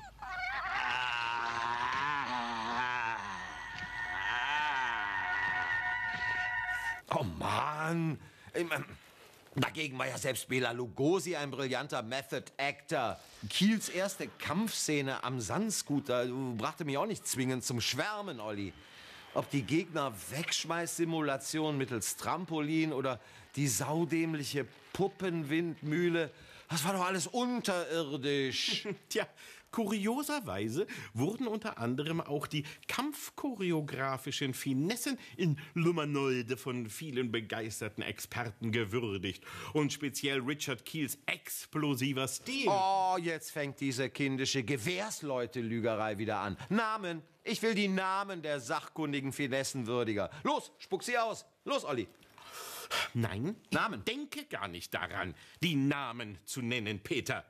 Hättest du dich mit deinem Film etwas intensiver beschäftigt, wüsstest du genau, von wem ich spreche. sei es, wie es sei, liebe Zuschauer, als Lord Gral dem narkotisierten Mutanten kurz darauf seinen ersten Auftrag gab und er Dr. Crespin nach dem genauen Fertigstellungstermin der Mehrfach-Kapaton-Sprengkapsel fragte, schien der Untergang von Metropolis quasi besiegelt zu sein. Seine erste Aufgabe soll sein, den großen Bruder zu töten. Ja. Wenn der Herrscher von Metropolis tot ist, werden sie nicht mehr die Kraft aufbringen, uns zu widerstehen. Wann wird die Mehrfach-Kapatron-Sprengkapsel fertig sein? In genau einer Woche. In sieben Tagen wird Metropolis von einer riesigen Armee von Humanoiden bevölkert sein. Unter ihrem Kommando. Stellen Sie sich das mal vor. Keine lose Gruppe, sondern eine gut organisierte Armee dieser Monster unter dem Kommando von Lord Gral. Puh, puh, puh. Jetzt hör bloß auf mit dem gestellten Rumgepupue. Olli, da stehen drei Figuren, die aussehen wie enttäuschte Gäste einer kurzfristig abgesagten BDSM-Fetischparty, um einen schlafenden Arthritis-Zombie rum, labern zigfach gequirlte Scheiße. Und du meinst, die Vorstellung einer Legion dieser geriatrischen Wackelschleicher würde die Zuschauer tief beunruhigen? Ich sag dir was! Die Zuschauer sind darüber in etwa so aufgebracht wie dieser famos frisierte Modelsoldat Nick beim Ausrufen der höchsten Alarmstufe. Wir haben höchste Alarmstufe. Jedermann auf seine Position. Schon mal was von deeskalierender Kommunikation gehört? Ah, ja. hm? Deiner Meinung nach hätte Nick da wohl hysterisch rumkreischen sollen, hä? Überhaupt, was weißt du denn schon über die Wirkung, die so eine Megamutantenbedrohung bei den Metropolisten äh, lesen da, wie, wie, wie auch bei unseren Zuschauern auslöst? Hä? Du verweichlichte Star Wars Schranze! Ich habe jedenfalls den allergrößten Respekt vor den tapferen Männern am Tor 16. Niemand darf ohne Passierschein die Stadt betreten. Dürfte ich Ihren Passierschein sehen? Alarm! Tor 16! Alarm Tor 16! Alarm Tor 16! Alarm Tor 16! Alarm Tor 16! Alarm Tor 16! Ja, Alarmtor 16 wäre zumindest ein besserer Filmtitel gewesen. Mensch, du so ein Pech aber auch, dass Barbara Gibson den Humanoid-Abwehrcode nicht mehr finden kann. Unser Leben ist in Gefahr. Und ich kann den Humanoid-Abwehrcode, den wir erarbeitet haben, nicht finden. Apropos geisteskrank. Der ältere Typ mit den Silberkoteletten in der kuscheligen Wellness-Kutte, der immer so wirkt, als hätte er gerade mal wieder den Aufguss in der Biosauna verpasst. Was hat der eigentlich im Einzelnen für eine Funktion, Olli? Och, Peter, du weißt sehr gut, dass das der große Bruder, der Herrscher der Galaxis ist, den Lord Gral stürzen will, um das friedliche Metropolis brutal zu unterwerfen. Ja, richtig, der Ältere der Graal Brothers, der Monarch von Metropolis, dem man keinen eigenen Namen spendiert hat. Nee, du, ich, ich frag nur, äh, weil ich schwer den Eindruck habe, dass der den ganzen kruden Dramaturgie-Kappes, den Aldolado hier auftischt, ungefähr genauso glaubwürdig findet wie ich. Was ist passiert, Nick? Sie müssen den Palast auf dem schnellsten Weg verlassen. In der Stadt ist ein Mutant oder etwas ähnliches und er kommt hierher. Bisher konnten wir ihn nicht aufhalten. Keine unserer Waffen hat irgendeine Wirkung gezeigt. Sie haben mir eine äußerst schwierige Aufgabe übertragen und ich versuche sie auszuführen. Wir haben Groven verstärkt und Sie können von dort aus die Kontrolle übernehmen. Es ist der einzige Platz, an dem ich Ihre Sicherheit und die der fünf Ältesten garantieren kann. Ne? Man spürt deutlich, der glaubt diesem Nick kein Wort und will einfach nur noch raus aus dem Bademantel, raus aus der Rolle, raus aus dem Film. Oder? Egal. Let's agree to disagree. Äh, Bei einer Sache brauche ich aber noch ganz unbedingt deine Einschätzung, Olli. Die Dame Agathe und der Herr Graal, die sind ja süße Lovebirds. Jedenfalls wurde uns das in dieser Szene von Frau Bach mit verbalem Wupp dicht nahegelegt. Mein Herz ist beglückt zu erfahren, dass ich die ganze Zeit in deinen Gedanken gewesen bin. Wie leer ist mein Leben ohne dich gewesen. Jetzt können wir gemeinsam die Macht zurückerobern, die man dir gestohlen hat. Was für eine Ehre ist es für mich, von dem Mann geliebt zu werden, der der Herrscher von Metropolis und der ganzen Galaxis sein wird. Bingo. Und da wollte ich dich fragen, glaubst du, der Gral zeigt der Lady noch seinen Aal? Meinst du, der lässt seinen Sternenkreuzer noch in ihren Raumhafen gleiten? Galaktischer GV zwischen Harqueen und Helm King zu kommen? Nun, bizarre Funksignale aus einem mentalen Paralleluniversum, liebe Zuschauer. Schließen wir nun schnell dieses Portal zum Wahnsinn und öffnen wir lieber wieder das prächtige Tor zu unserer spannenden Sternennovelle. Der Horrorhumanoid ist entfesselt und hätte um ein Haar schon den großen Bruder zermalmt. Doch der letzte Befehl, den wir hören konnten, lautete, töte zuerst Barbara Gibson. Bleibt zu hoffen, dass die Allianz der Guten diesen höllischen Plan noch zu vereiteln weiß. Zeig's ihnen, Tom Tom.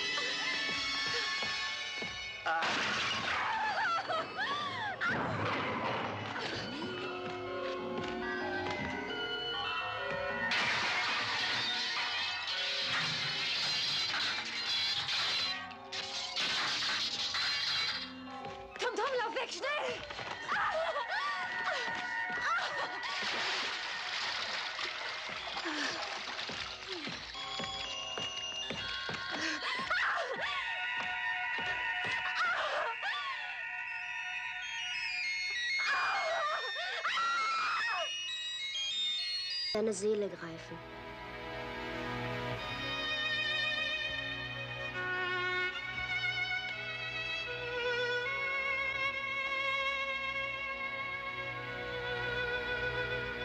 Om Mani Padme Hum. Kandera Kashobda. Kandera Kashobda.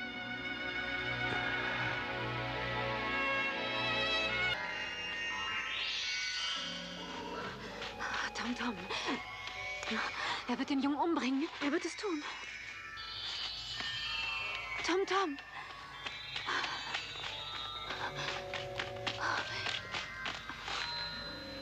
Er hat diese Richtung eingeschlagen, bevor wir sein Signal verloren haben.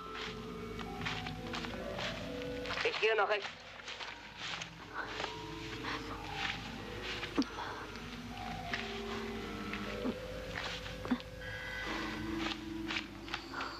Her hier! Ich habe das Mädchen gefunden! Au! Au!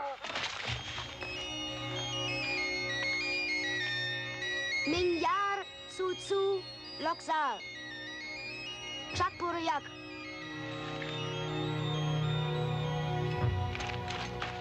Simor.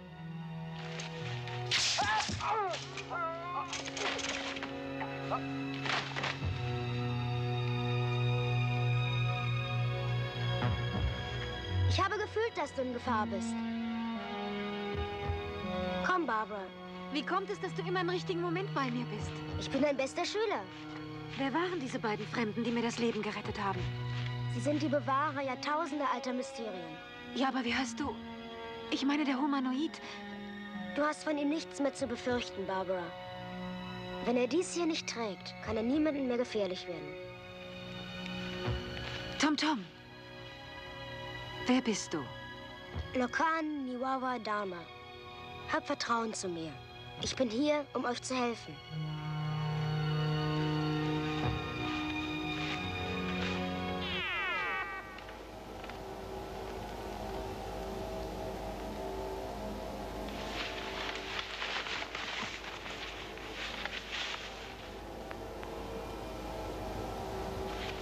Komm her, Golob. Ich bin dein Freund. Mein Name ist Barbara.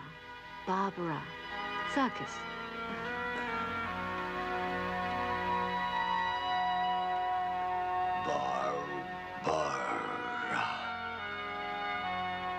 Du lernst aber schnell.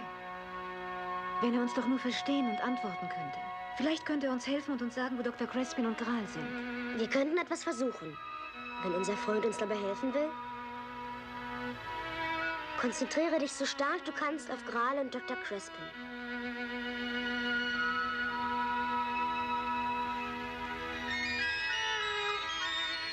Magna Japti Ananda.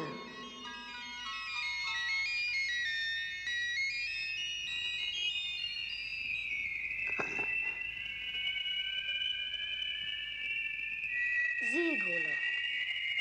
Sieh und versuche dich zu erinnern.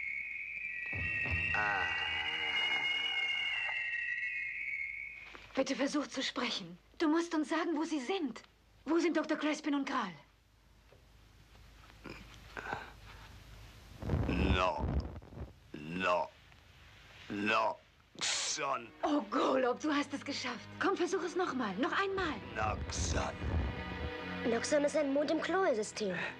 Ja, Nick und der große Bruder müssen das sofort erfahren. Oh, danke, Golob. Passt gut aufeinander auf. Komm. Jetzt wirst du schlafen. Und während du schläfst, wird immer mehr von dem zurückkehren, was du warst. Du wirst wieder zu einem Menschen werden. Und ich will dir dabei helfen, Golob. Vertrau mir, mein Freund. Und vertraue deiner menschlichen Kraft.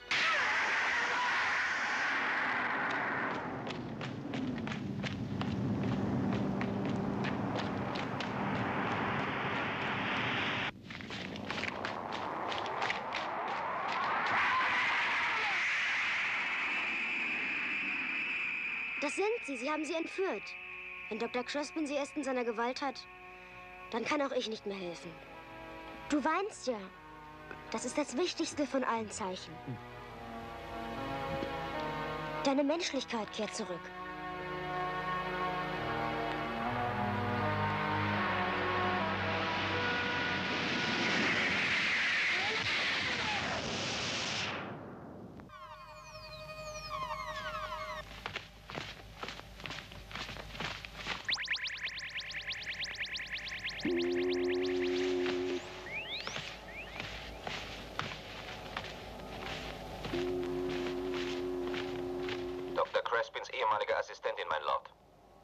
Was ist mit dem Humanoiden? Hat er den großen Bruder getötet? Nein, der große Bruder ist noch am Leben. Er wird dich wie einen Wurm zertreten. Bringt sie hinaus. Craven, was ist passiert? Der Humanoid hat Ihre Befehle nicht befolgt. Wir haben den Kontakt verloren. Zurück nach Noxon. Ich bin gespannt, was Crespin dazu zu sagen hat.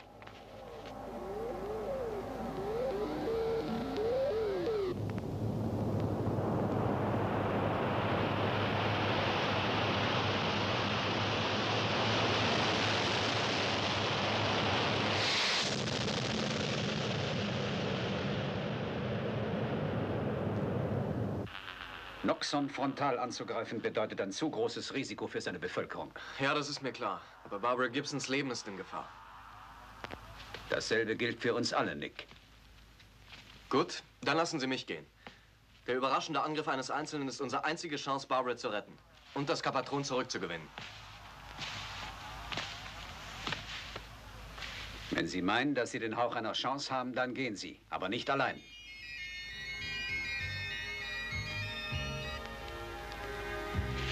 Hey! Nein, nein, lassen Sie ihn. Golob geht. Barbara, meine Freundin. Jetzt weiß ich, dass wir hoffen dürfen.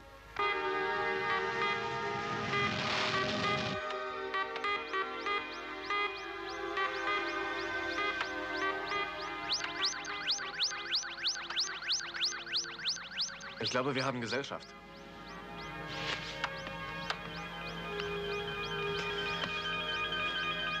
Was soll denn das nun wieder? Was willst du hier? Das ist genau meine Richtung und dann dachte ich mir, ich fliege mit euch. Dich hat's wohl aus deiner Schwerkraftzone geworfen. Hast du noch ein paar Überraschungen auf Lager? Vielleicht kannst du sogar unser Schiff fliegen, oder was? Selbstverständlich, das ist viel leichter als frei zu schweben. Ich kann nur eins sagen, du bist der komischste Junge, den ich je getroffen habe. Verrätst du mir jetzt noch, wie du es geschafft hast, dich in unseren Raumbahnhof einzuschmuggeln? Ach, ich hatte nur ein kleines Gespräch mit den Wachen, Auge in Auge.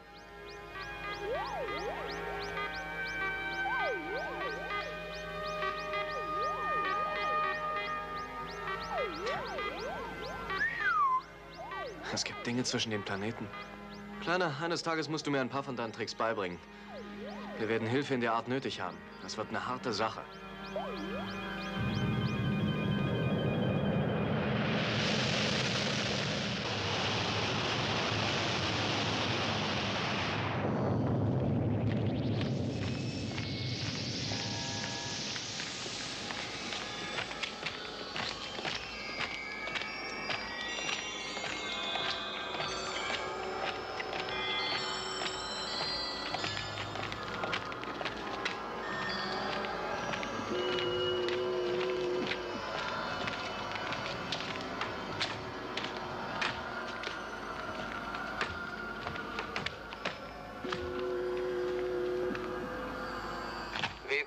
In Noxon, mein Lord.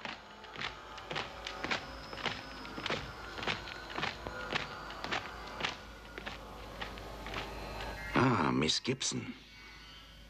Ich hoffe, Sie sind bereit für das zu zahlen, was Sie an mir verbrochen haben. Auch Sie haben für etwas zu zahlen, Dr. Crespin. Für Ihre unmenschlichen und wahnsinnigen Taten. Ich bin sicher, dass nichts, nicht einmal mein Tod, Sie vor der Strafe bewahren kann. Das ist genug, Craspin. Diese Beute gehört uns ebenso wie Ihnen. Und wir brauchen sie noch etwas, nicht wahr? Schafft sie hinaus.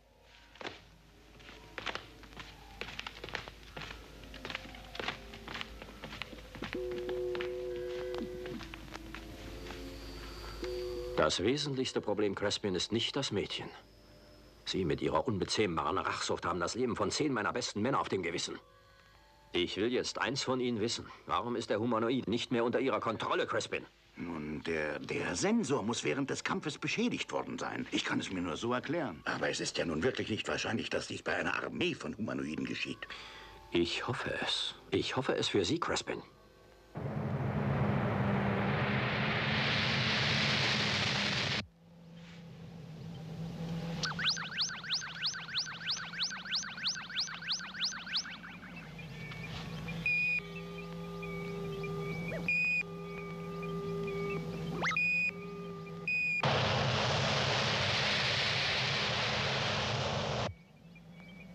Treten in Noxons Magnetfeld ein. Ich werde jetzt die Retro-Raketen einschalten.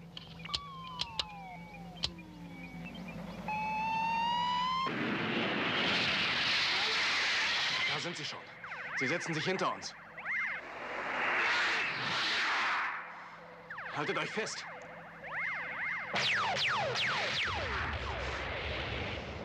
Tja, irgendwie müssen wir darauf beantworten, was? Tom, Tom, du hast gesagt, du kannst die Kiste fliegen. Dann zeig es uns mal.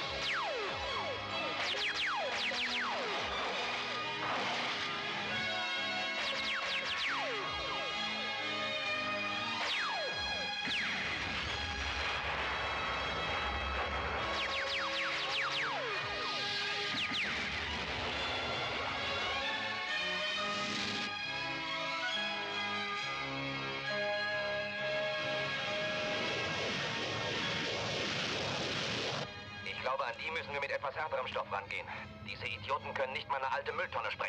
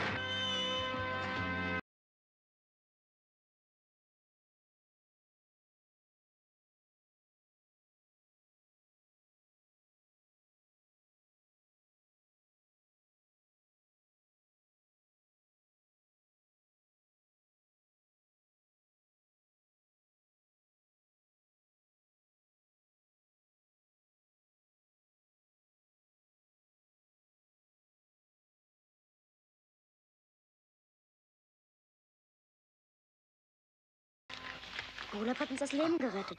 Irgendwie hat er es geschafft, das Schiff zu landen. Was für ein Glück, dass du mitgekommen bist. Wo sind wir überhaupt? Hm, das ist Noxon, würde ich sagen. Aber um es genau zu wissen, müssen wir die Koordinaten bestimmen.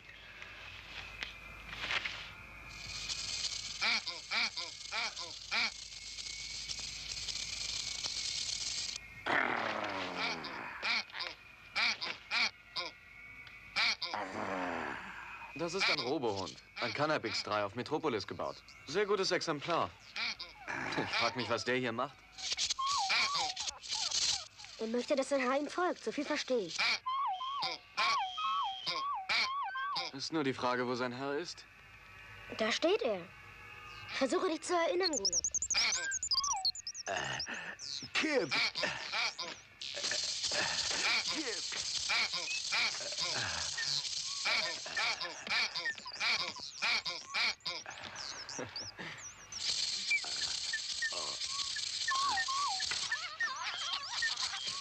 Glaube, er möchte uns etwas zeigen. Wir müssen ihm einfach nur folgen. Kommen Sie.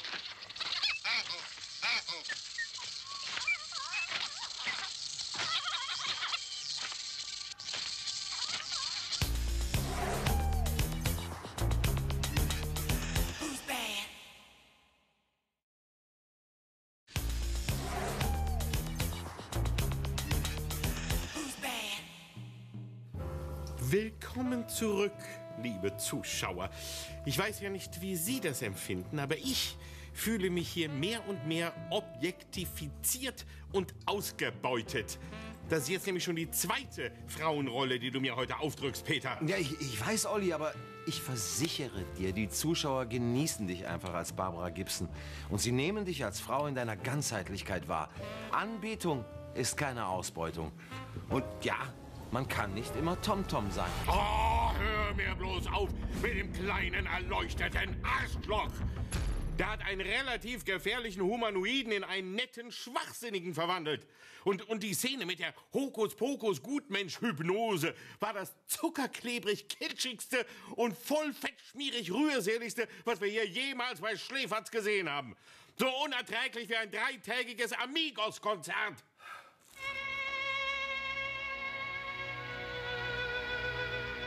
Om Mani Padme Hum. Kandera Kashobda. Kandera Kashobda.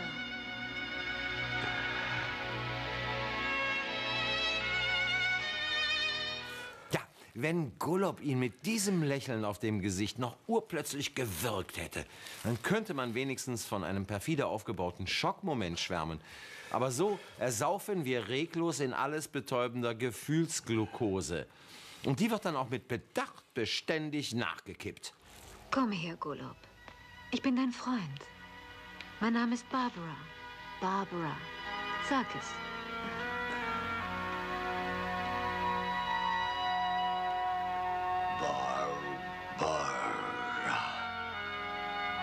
Bah, hatte ich kurz Sorge, dass sie Golob zur Belohnung eine Dose von seinem Lieblingshundefutter aufmachen und dann mit ihm im Park apportieren üben. Nee, nee, wirklich, bei aller Liebe.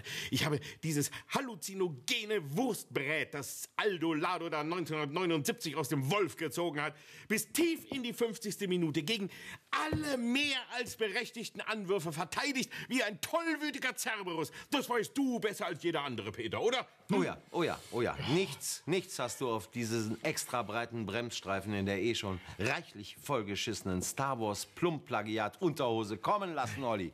Nicht die allerkleinste Beschmutzung. Richtig, richtig. Aber spätestens nach dieser Tom-Tom-ADHS-Quaselei fürs Herz habe ich vollumfänglich kapituliert. Das sind sie. Sie haben sie entführt. Wenn Dr. Crespin sie erst in seiner Gewalt hat, dann kann auch ich nicht mehr helfen. Du weinst ja. Das ist das Wichtigste von allen Zeichen.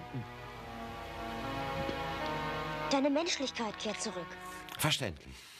Woran sollte man bitte in der humanoiden Visage erkennen, ob er da gerade weint, lacht oder wütend ist? Richard Keel war ein grandioser Bondbeißer.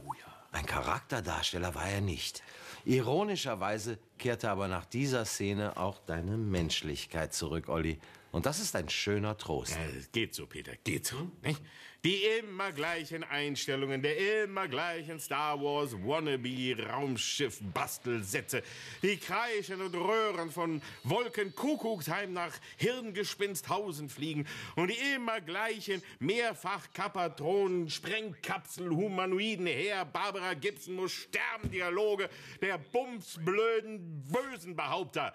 Ja, die haben mich ebenso müde gemacht wie den großen Bruder höchst selbst, ja. Und bedenke, der kaputte Dreckstreifen ist noch nicht zu Ende. Da wir nur rätseln können, was für psychoaktive Pilze dieser Aldo Lado damals kiloweise gefressen hat, als er im Rausch das Skript erstellte, rechne ich noch mit dem Schlimmsten. Na, na, na, dein, also dein Defetismus in Ehren. Aber wie soll das denn bitte gehen, Olli? Ha? Sieh mal, wir haben schließlich schon erlebt, dass TomTom bei Bedarf zwei nützliche Mönchs-Mumienengel mit Laserpfeil und Kristallbogen herbeizitieren kann. Und nebenbei erfahren, dass Noxon ein Mond im Chloe-System ist. Quasi direkt neben dem Dior-Nebel und dem Chanel-Superhaufen. Oder? Sicher, sicher. Äh, das war schon eine imposante Gewichtsklasse des Irrsinns. Eben, eben, eben, eben. Und wir haben rekordhässliche Aufnahmen des definitiv hässlichsten Raumschiffes der Filmgeschichte ertragen. Wir haben sterbenslangweilige Aufnahmen mit todlangweiligen Darstellern aus dem stinklangweiligen Inneren des enorm hässlichen Raumschiffes ertragen. Und wir mussten erst mit ansehen, wie Golob sich mit TomTom ganz doll über die gelungene Notlandung freut.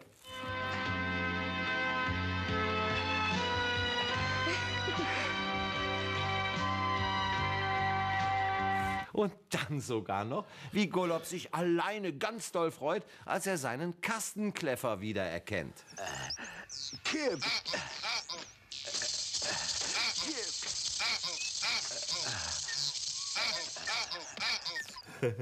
Du meinst, äh, schlimmer kann es unmöglich werden? Verstehe, äh, verstehe. Ach gut, Peter, ich weiß zwar nicht, ob Optimismus dafür der richtige Begriff ist, aber was soll's? Hauptsache, es sind keine Schwachsinnssteigerungen zu befürchten. Ja, ja. Denn wie bemerkte Meister Yoda einst so treffend, Furcht führt zu Wut, Wut führt zu Hass, Hass führt zu unsäglichem Leid. Also, auf, auf, ins fatale Finale.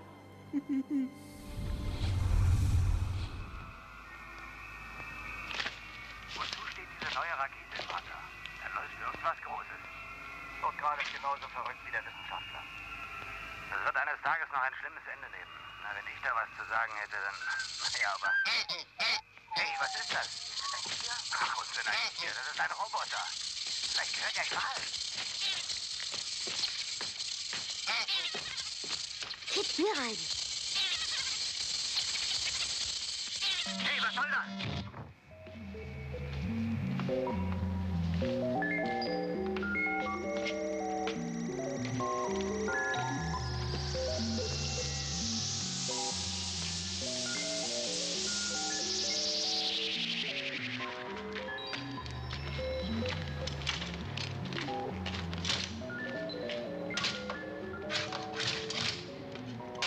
Wenn diese Rakete auf Metropolis aufschlägt, werden die Sprengköpfe explodieren und über die gesamte, die gesamte planetarische Atmosphäre Kapatron ausstrahlen. Und dann, dann, mein Lord, werden Sie eine Armee von Humanoiden haben.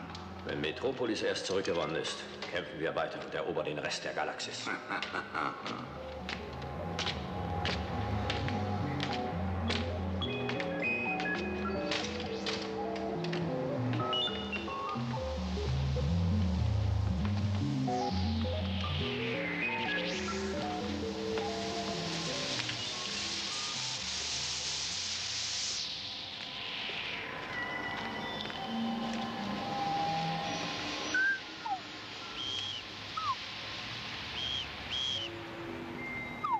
bereiten den Abschuss vor.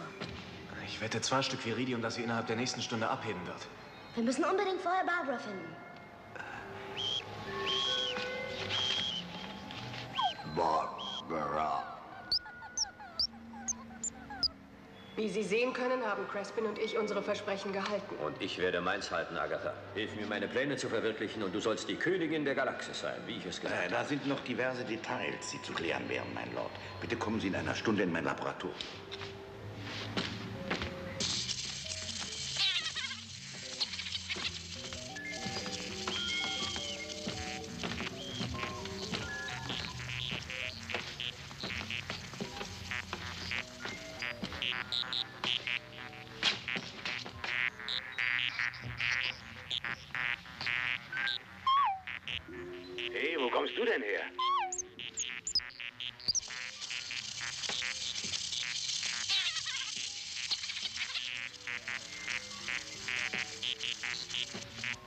Weiter? Chandrasi.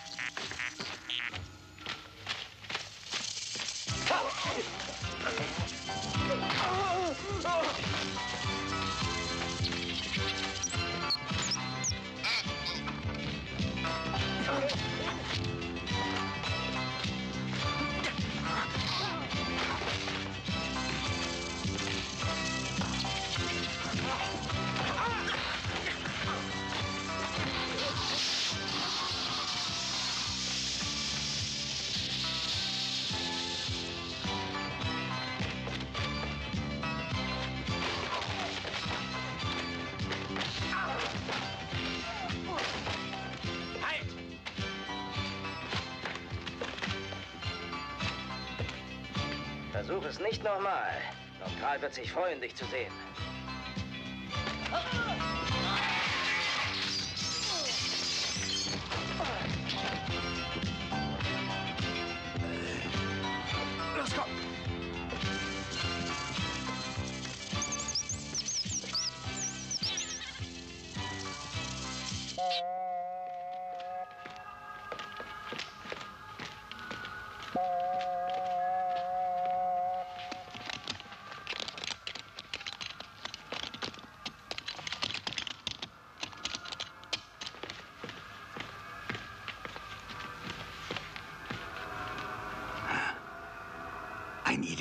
Exemplar, würden Sie das nicht auch sagen?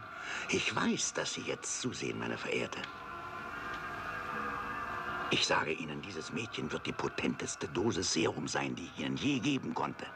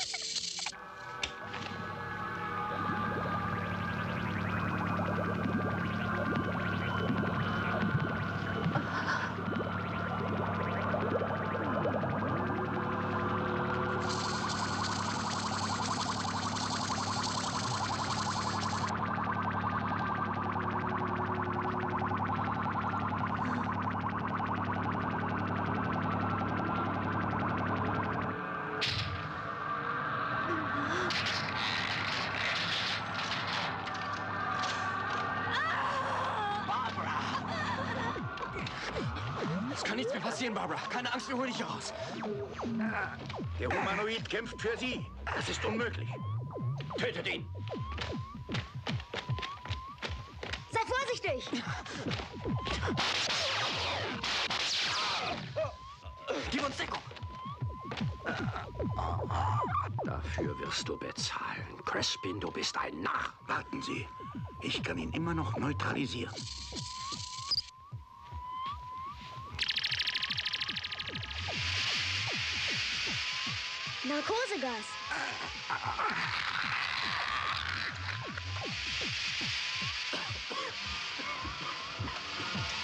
Raus hier. Der ganze Raum wird gleich mit Gas gefüllt sein.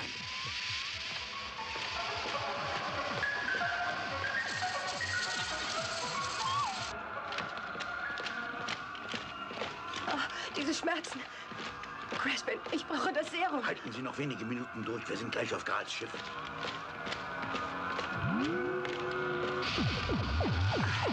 Raus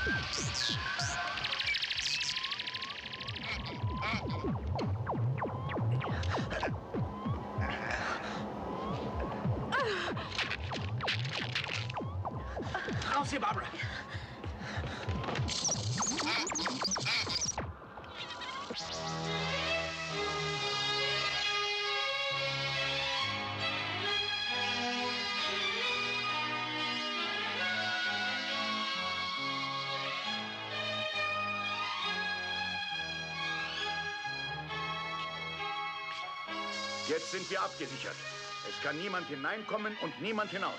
Ist die Rakete bereit? Ja. Können wir jetzt an Bord des Schiffes gehen, mein Lord? Die Vorbereitungen zum Countdown.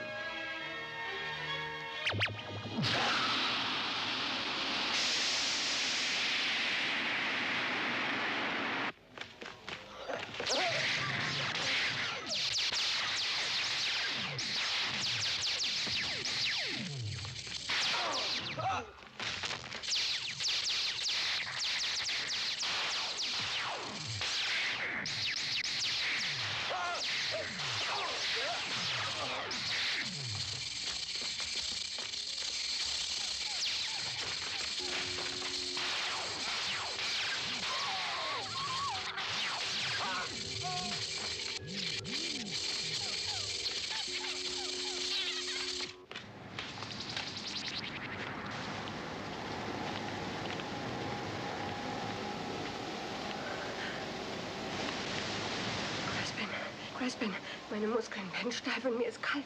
Hören Sie, ich muss es jetzt haben. Aber ich habe Ihnen doch gesagt, das ist an Bord des Schiffes. Sie ist blockiert. Wir können nicht weiter.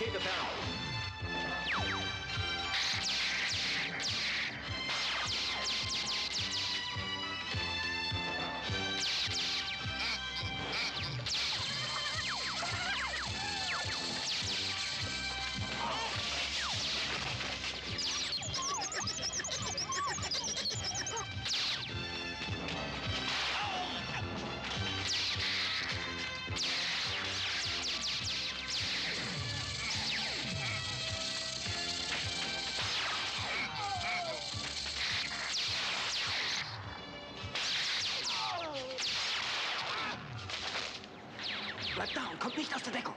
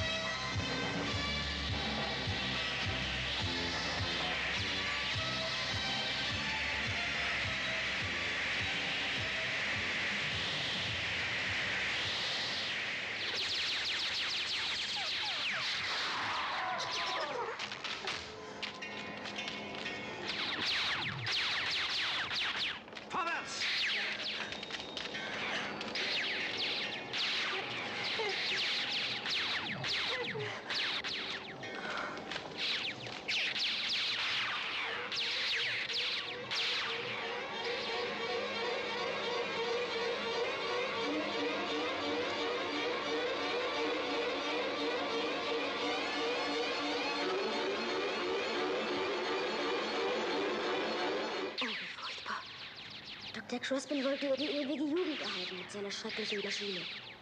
Dein Blut sollte ihr einen weiteren Tag Jugend und Schönheit geben.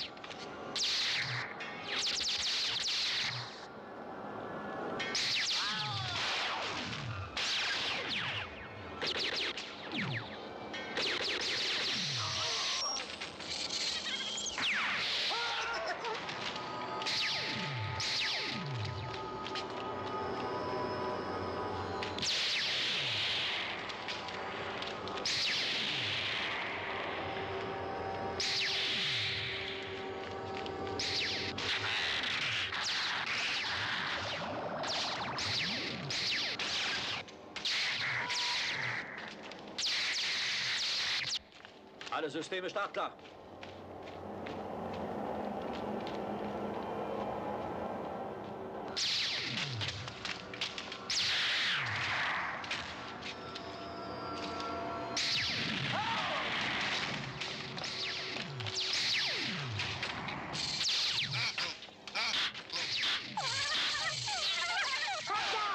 Satnam.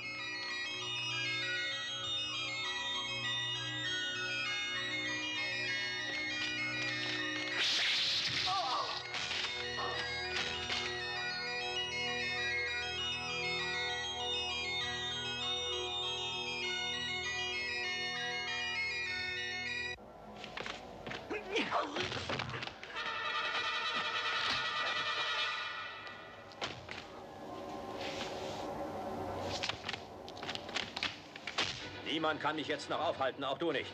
Aber komm, versuche es. Du hast keine Chance gegen mich. Ich fürchte dich nicht.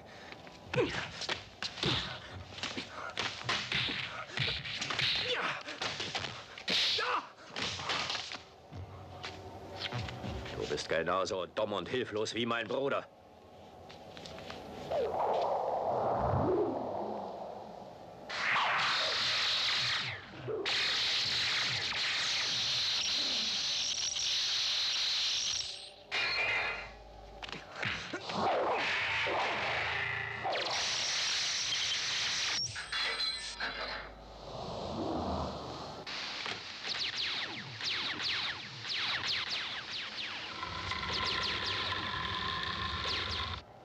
Nicht länger mit dir herumspielen.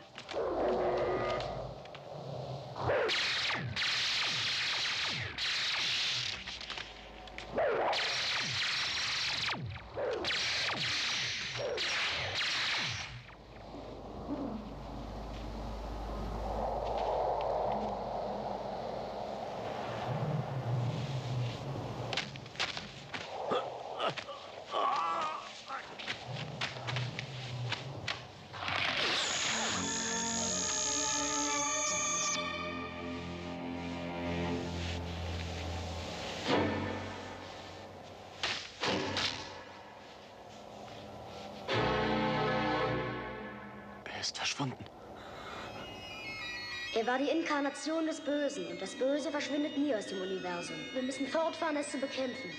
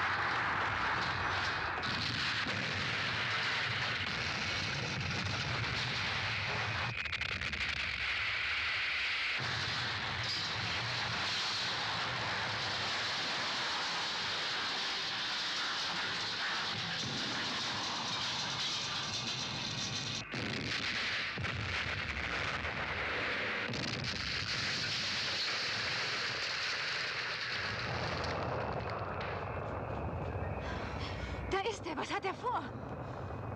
Ich weiß es nicht, aber er hat das Kapatron.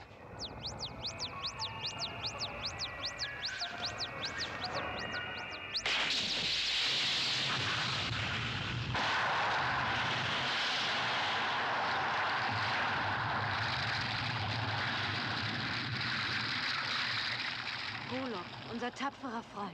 Er hat sich selbst getötet. Er hat sich getötet, um uns und Metropolis vor der Zerstörung zu retten.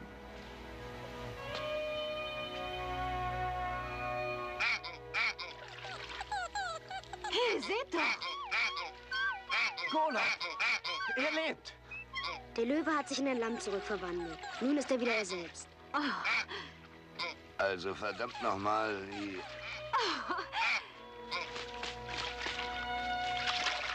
Oh, Golok, wie wundervoll. Wir haben gedacht, du... Was? Du siehst gut aus mit dem Bart. Aber ich habe doch immer einen Bart getragen. Nein, das hast du nicht. Erkennst du mich nicht wieder? Bar. Barbara. Ja. Ja. Nick. Tom Tom. Kip. Kip.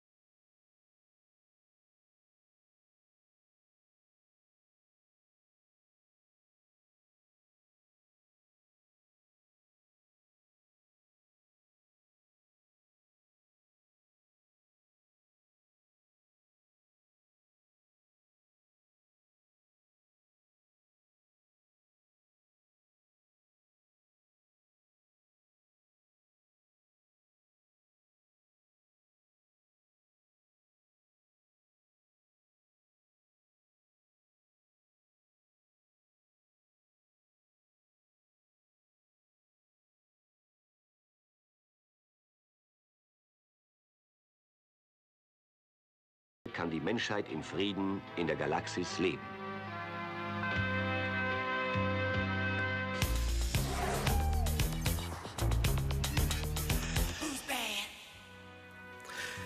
Zurück, liebe Milchstraßenpendler. Der Abend verging zwar nicht gerade in Lichtgeschwindigkeit, aber der vielseitige Stadtplanet Metropolis, aka Mutter Erde, wurde am Ende gerettet. Und Peters galaktisch praktisch guter Hirnanhangdrüsenfluter kam immerhin zu rund 30 Einsätzen. Das hat uns auf dem doch recht tragigen Trip sehr, sehr gut getan. Ja, allerdings. Und hätten wir faktisch jeden dreisten Star Wars-Diebstahl gemeldet, hätte das nicht nur den zeitlichen Rahmen, sondern sicher auch unser Promille-Fassungsvermögen gesprengt. Apropos Zeit, aber auch Lust. Olli, lass uns doch zur Aufarbeitung der humanoiden Havarie nur fix unsere beiden absoluten persönlichen Lowlights präsentieren und dann noch auflisten, wie oft statt diesem Aldolado der Zufall Regie geführt hat, okay? Gerne. Also, ähm, mein persönliches Lowlight war die Durchfallspur, die der Roboterrüde Kipp in der Schlacht um Noxon hinter sich herzog, auf der dann die Gegner doof ausrutschten und Kipp so vermutlich zum Lachen brachten.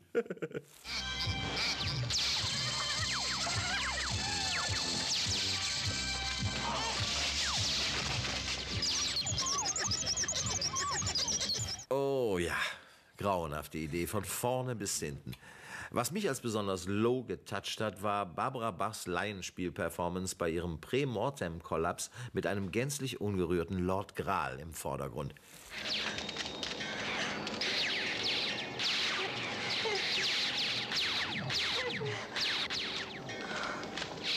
Du, im Nachhinein bin ich wirklich heilfroh, dass die zwei keine Sexszene hatten. Ich auch, Peter, ich auch. Gut, äh, das haben wir. Dann lege ich mal mit den diversen Plotzufällen und Zufallsplots los. Erstens, zufällig wurde das unermesslich wertvolle Kappertron im Institut in einem völlig ungesicherten Raum völlig ungesichert aufbewahrt, so dass Grals schwarz lackierte Vollpfosten es bequem mitnehmen konnten. Zweitens, zufällig flog der künftige Humanoid Golob auf dem Monitor von Dr. Crespin rum, just als der unter einigem Erfolgsdruck nach einem adäquaten Spezimen für sein Experiment suchte. Drittens, zufällig fiel Golob beim Absturz über der Wüste in ein Meer und zerschellte nicht mit 7000 Stundenkilometern am Boden und wurde nicht in 7000 Stücke gerissen. Viertens, zufällig latschte Golob nochmal in seine abgesoffene Mühle, wodurch ihn die zufällig genau dort auftretende Mikronuklearladung voll erwischen konnte, die ihn aber anders als bei Atomexplosionen in nächster Nähe üblich nicht atomisierte, sondern zum Humanoiden machte. Fünftens, zufällig wurde der große Bruder nicht vom Humanoiden erdrosselt, da dieser, exakt in dem Moment, als er seine stählernen Würgepranken anlegen wollte, den Prioritätenbefehl Töte zuerst Barbara Gibson erhielt. Sechstens, zufällig konnte besagte Barbara Gibson, wie schon erwähnt, den überlebenswichtigen Humanoid-Abwehrcode, den man schon lange vorher aus guten Gründen erarbeitet hatte, leider partout nicht mehr auf ihrem alten Kassettenrekorder finden. Ah! Siebtens, zufällig konnte TomTom seinen Gruppi noch kurz vor Exitus retten, da er komfortablerweise den Humanoiden kontrollieren konnte und diesem später außerdem das grüne Sensorenhirn aus dem Kopf reißen konnte, ohne dass eine Wunde zurückblieb. Achtens, zufällig konnte dann auch die Komplettperforierung der Barbara Gibson um exakt eine Handbreit vorher verhindert werden, da unsere Helden zufällig noch pünktlich erschienen. Neuntens, zufällig konnte Golob mit einem Kasten Kapatron unter dem Arm am Ende wieder in das nahegelegene Wüstenmeer von Noxon hüpfen und bekam dadurch seinen Bart und auch seinen bescheidenen Verstand wieder. Zehntens, zufällig konnte TomTom auch Raumschiffe fliegen und zufällig... Sollten wir jetzt aber hier lieber Schluss machen, Peter, weil sonst gehen uns die Zufälle niemals aus. ja, das stimmt wohl. Ja gut, dann äh, lass uns jetzt auf dem kristallgläsernen Schwan der Glückseligkeit in den Sonnenuntergang gleiten, Olli. Nach Tibet oder wie dieser ferne Planet heißt. Oh ja, aber vorher wollen wir uns mal wieder aus der tiefsten Herzenstiefe bei euch fürs Mitfahren und Durchhalten bedanken, liebe Schläferzer und Schläferzerinnen. Und wir sagen, wie immer an dieser Stelle, auch ein ganz klein wenig erleichtert. Tschüss, bis zum nächsten Schläferz. Bussi. Oh, mein lieber Mann, mein lieber Mann, jetzt aber rauf auf den Schwan. Oh, Hä? ja. Was?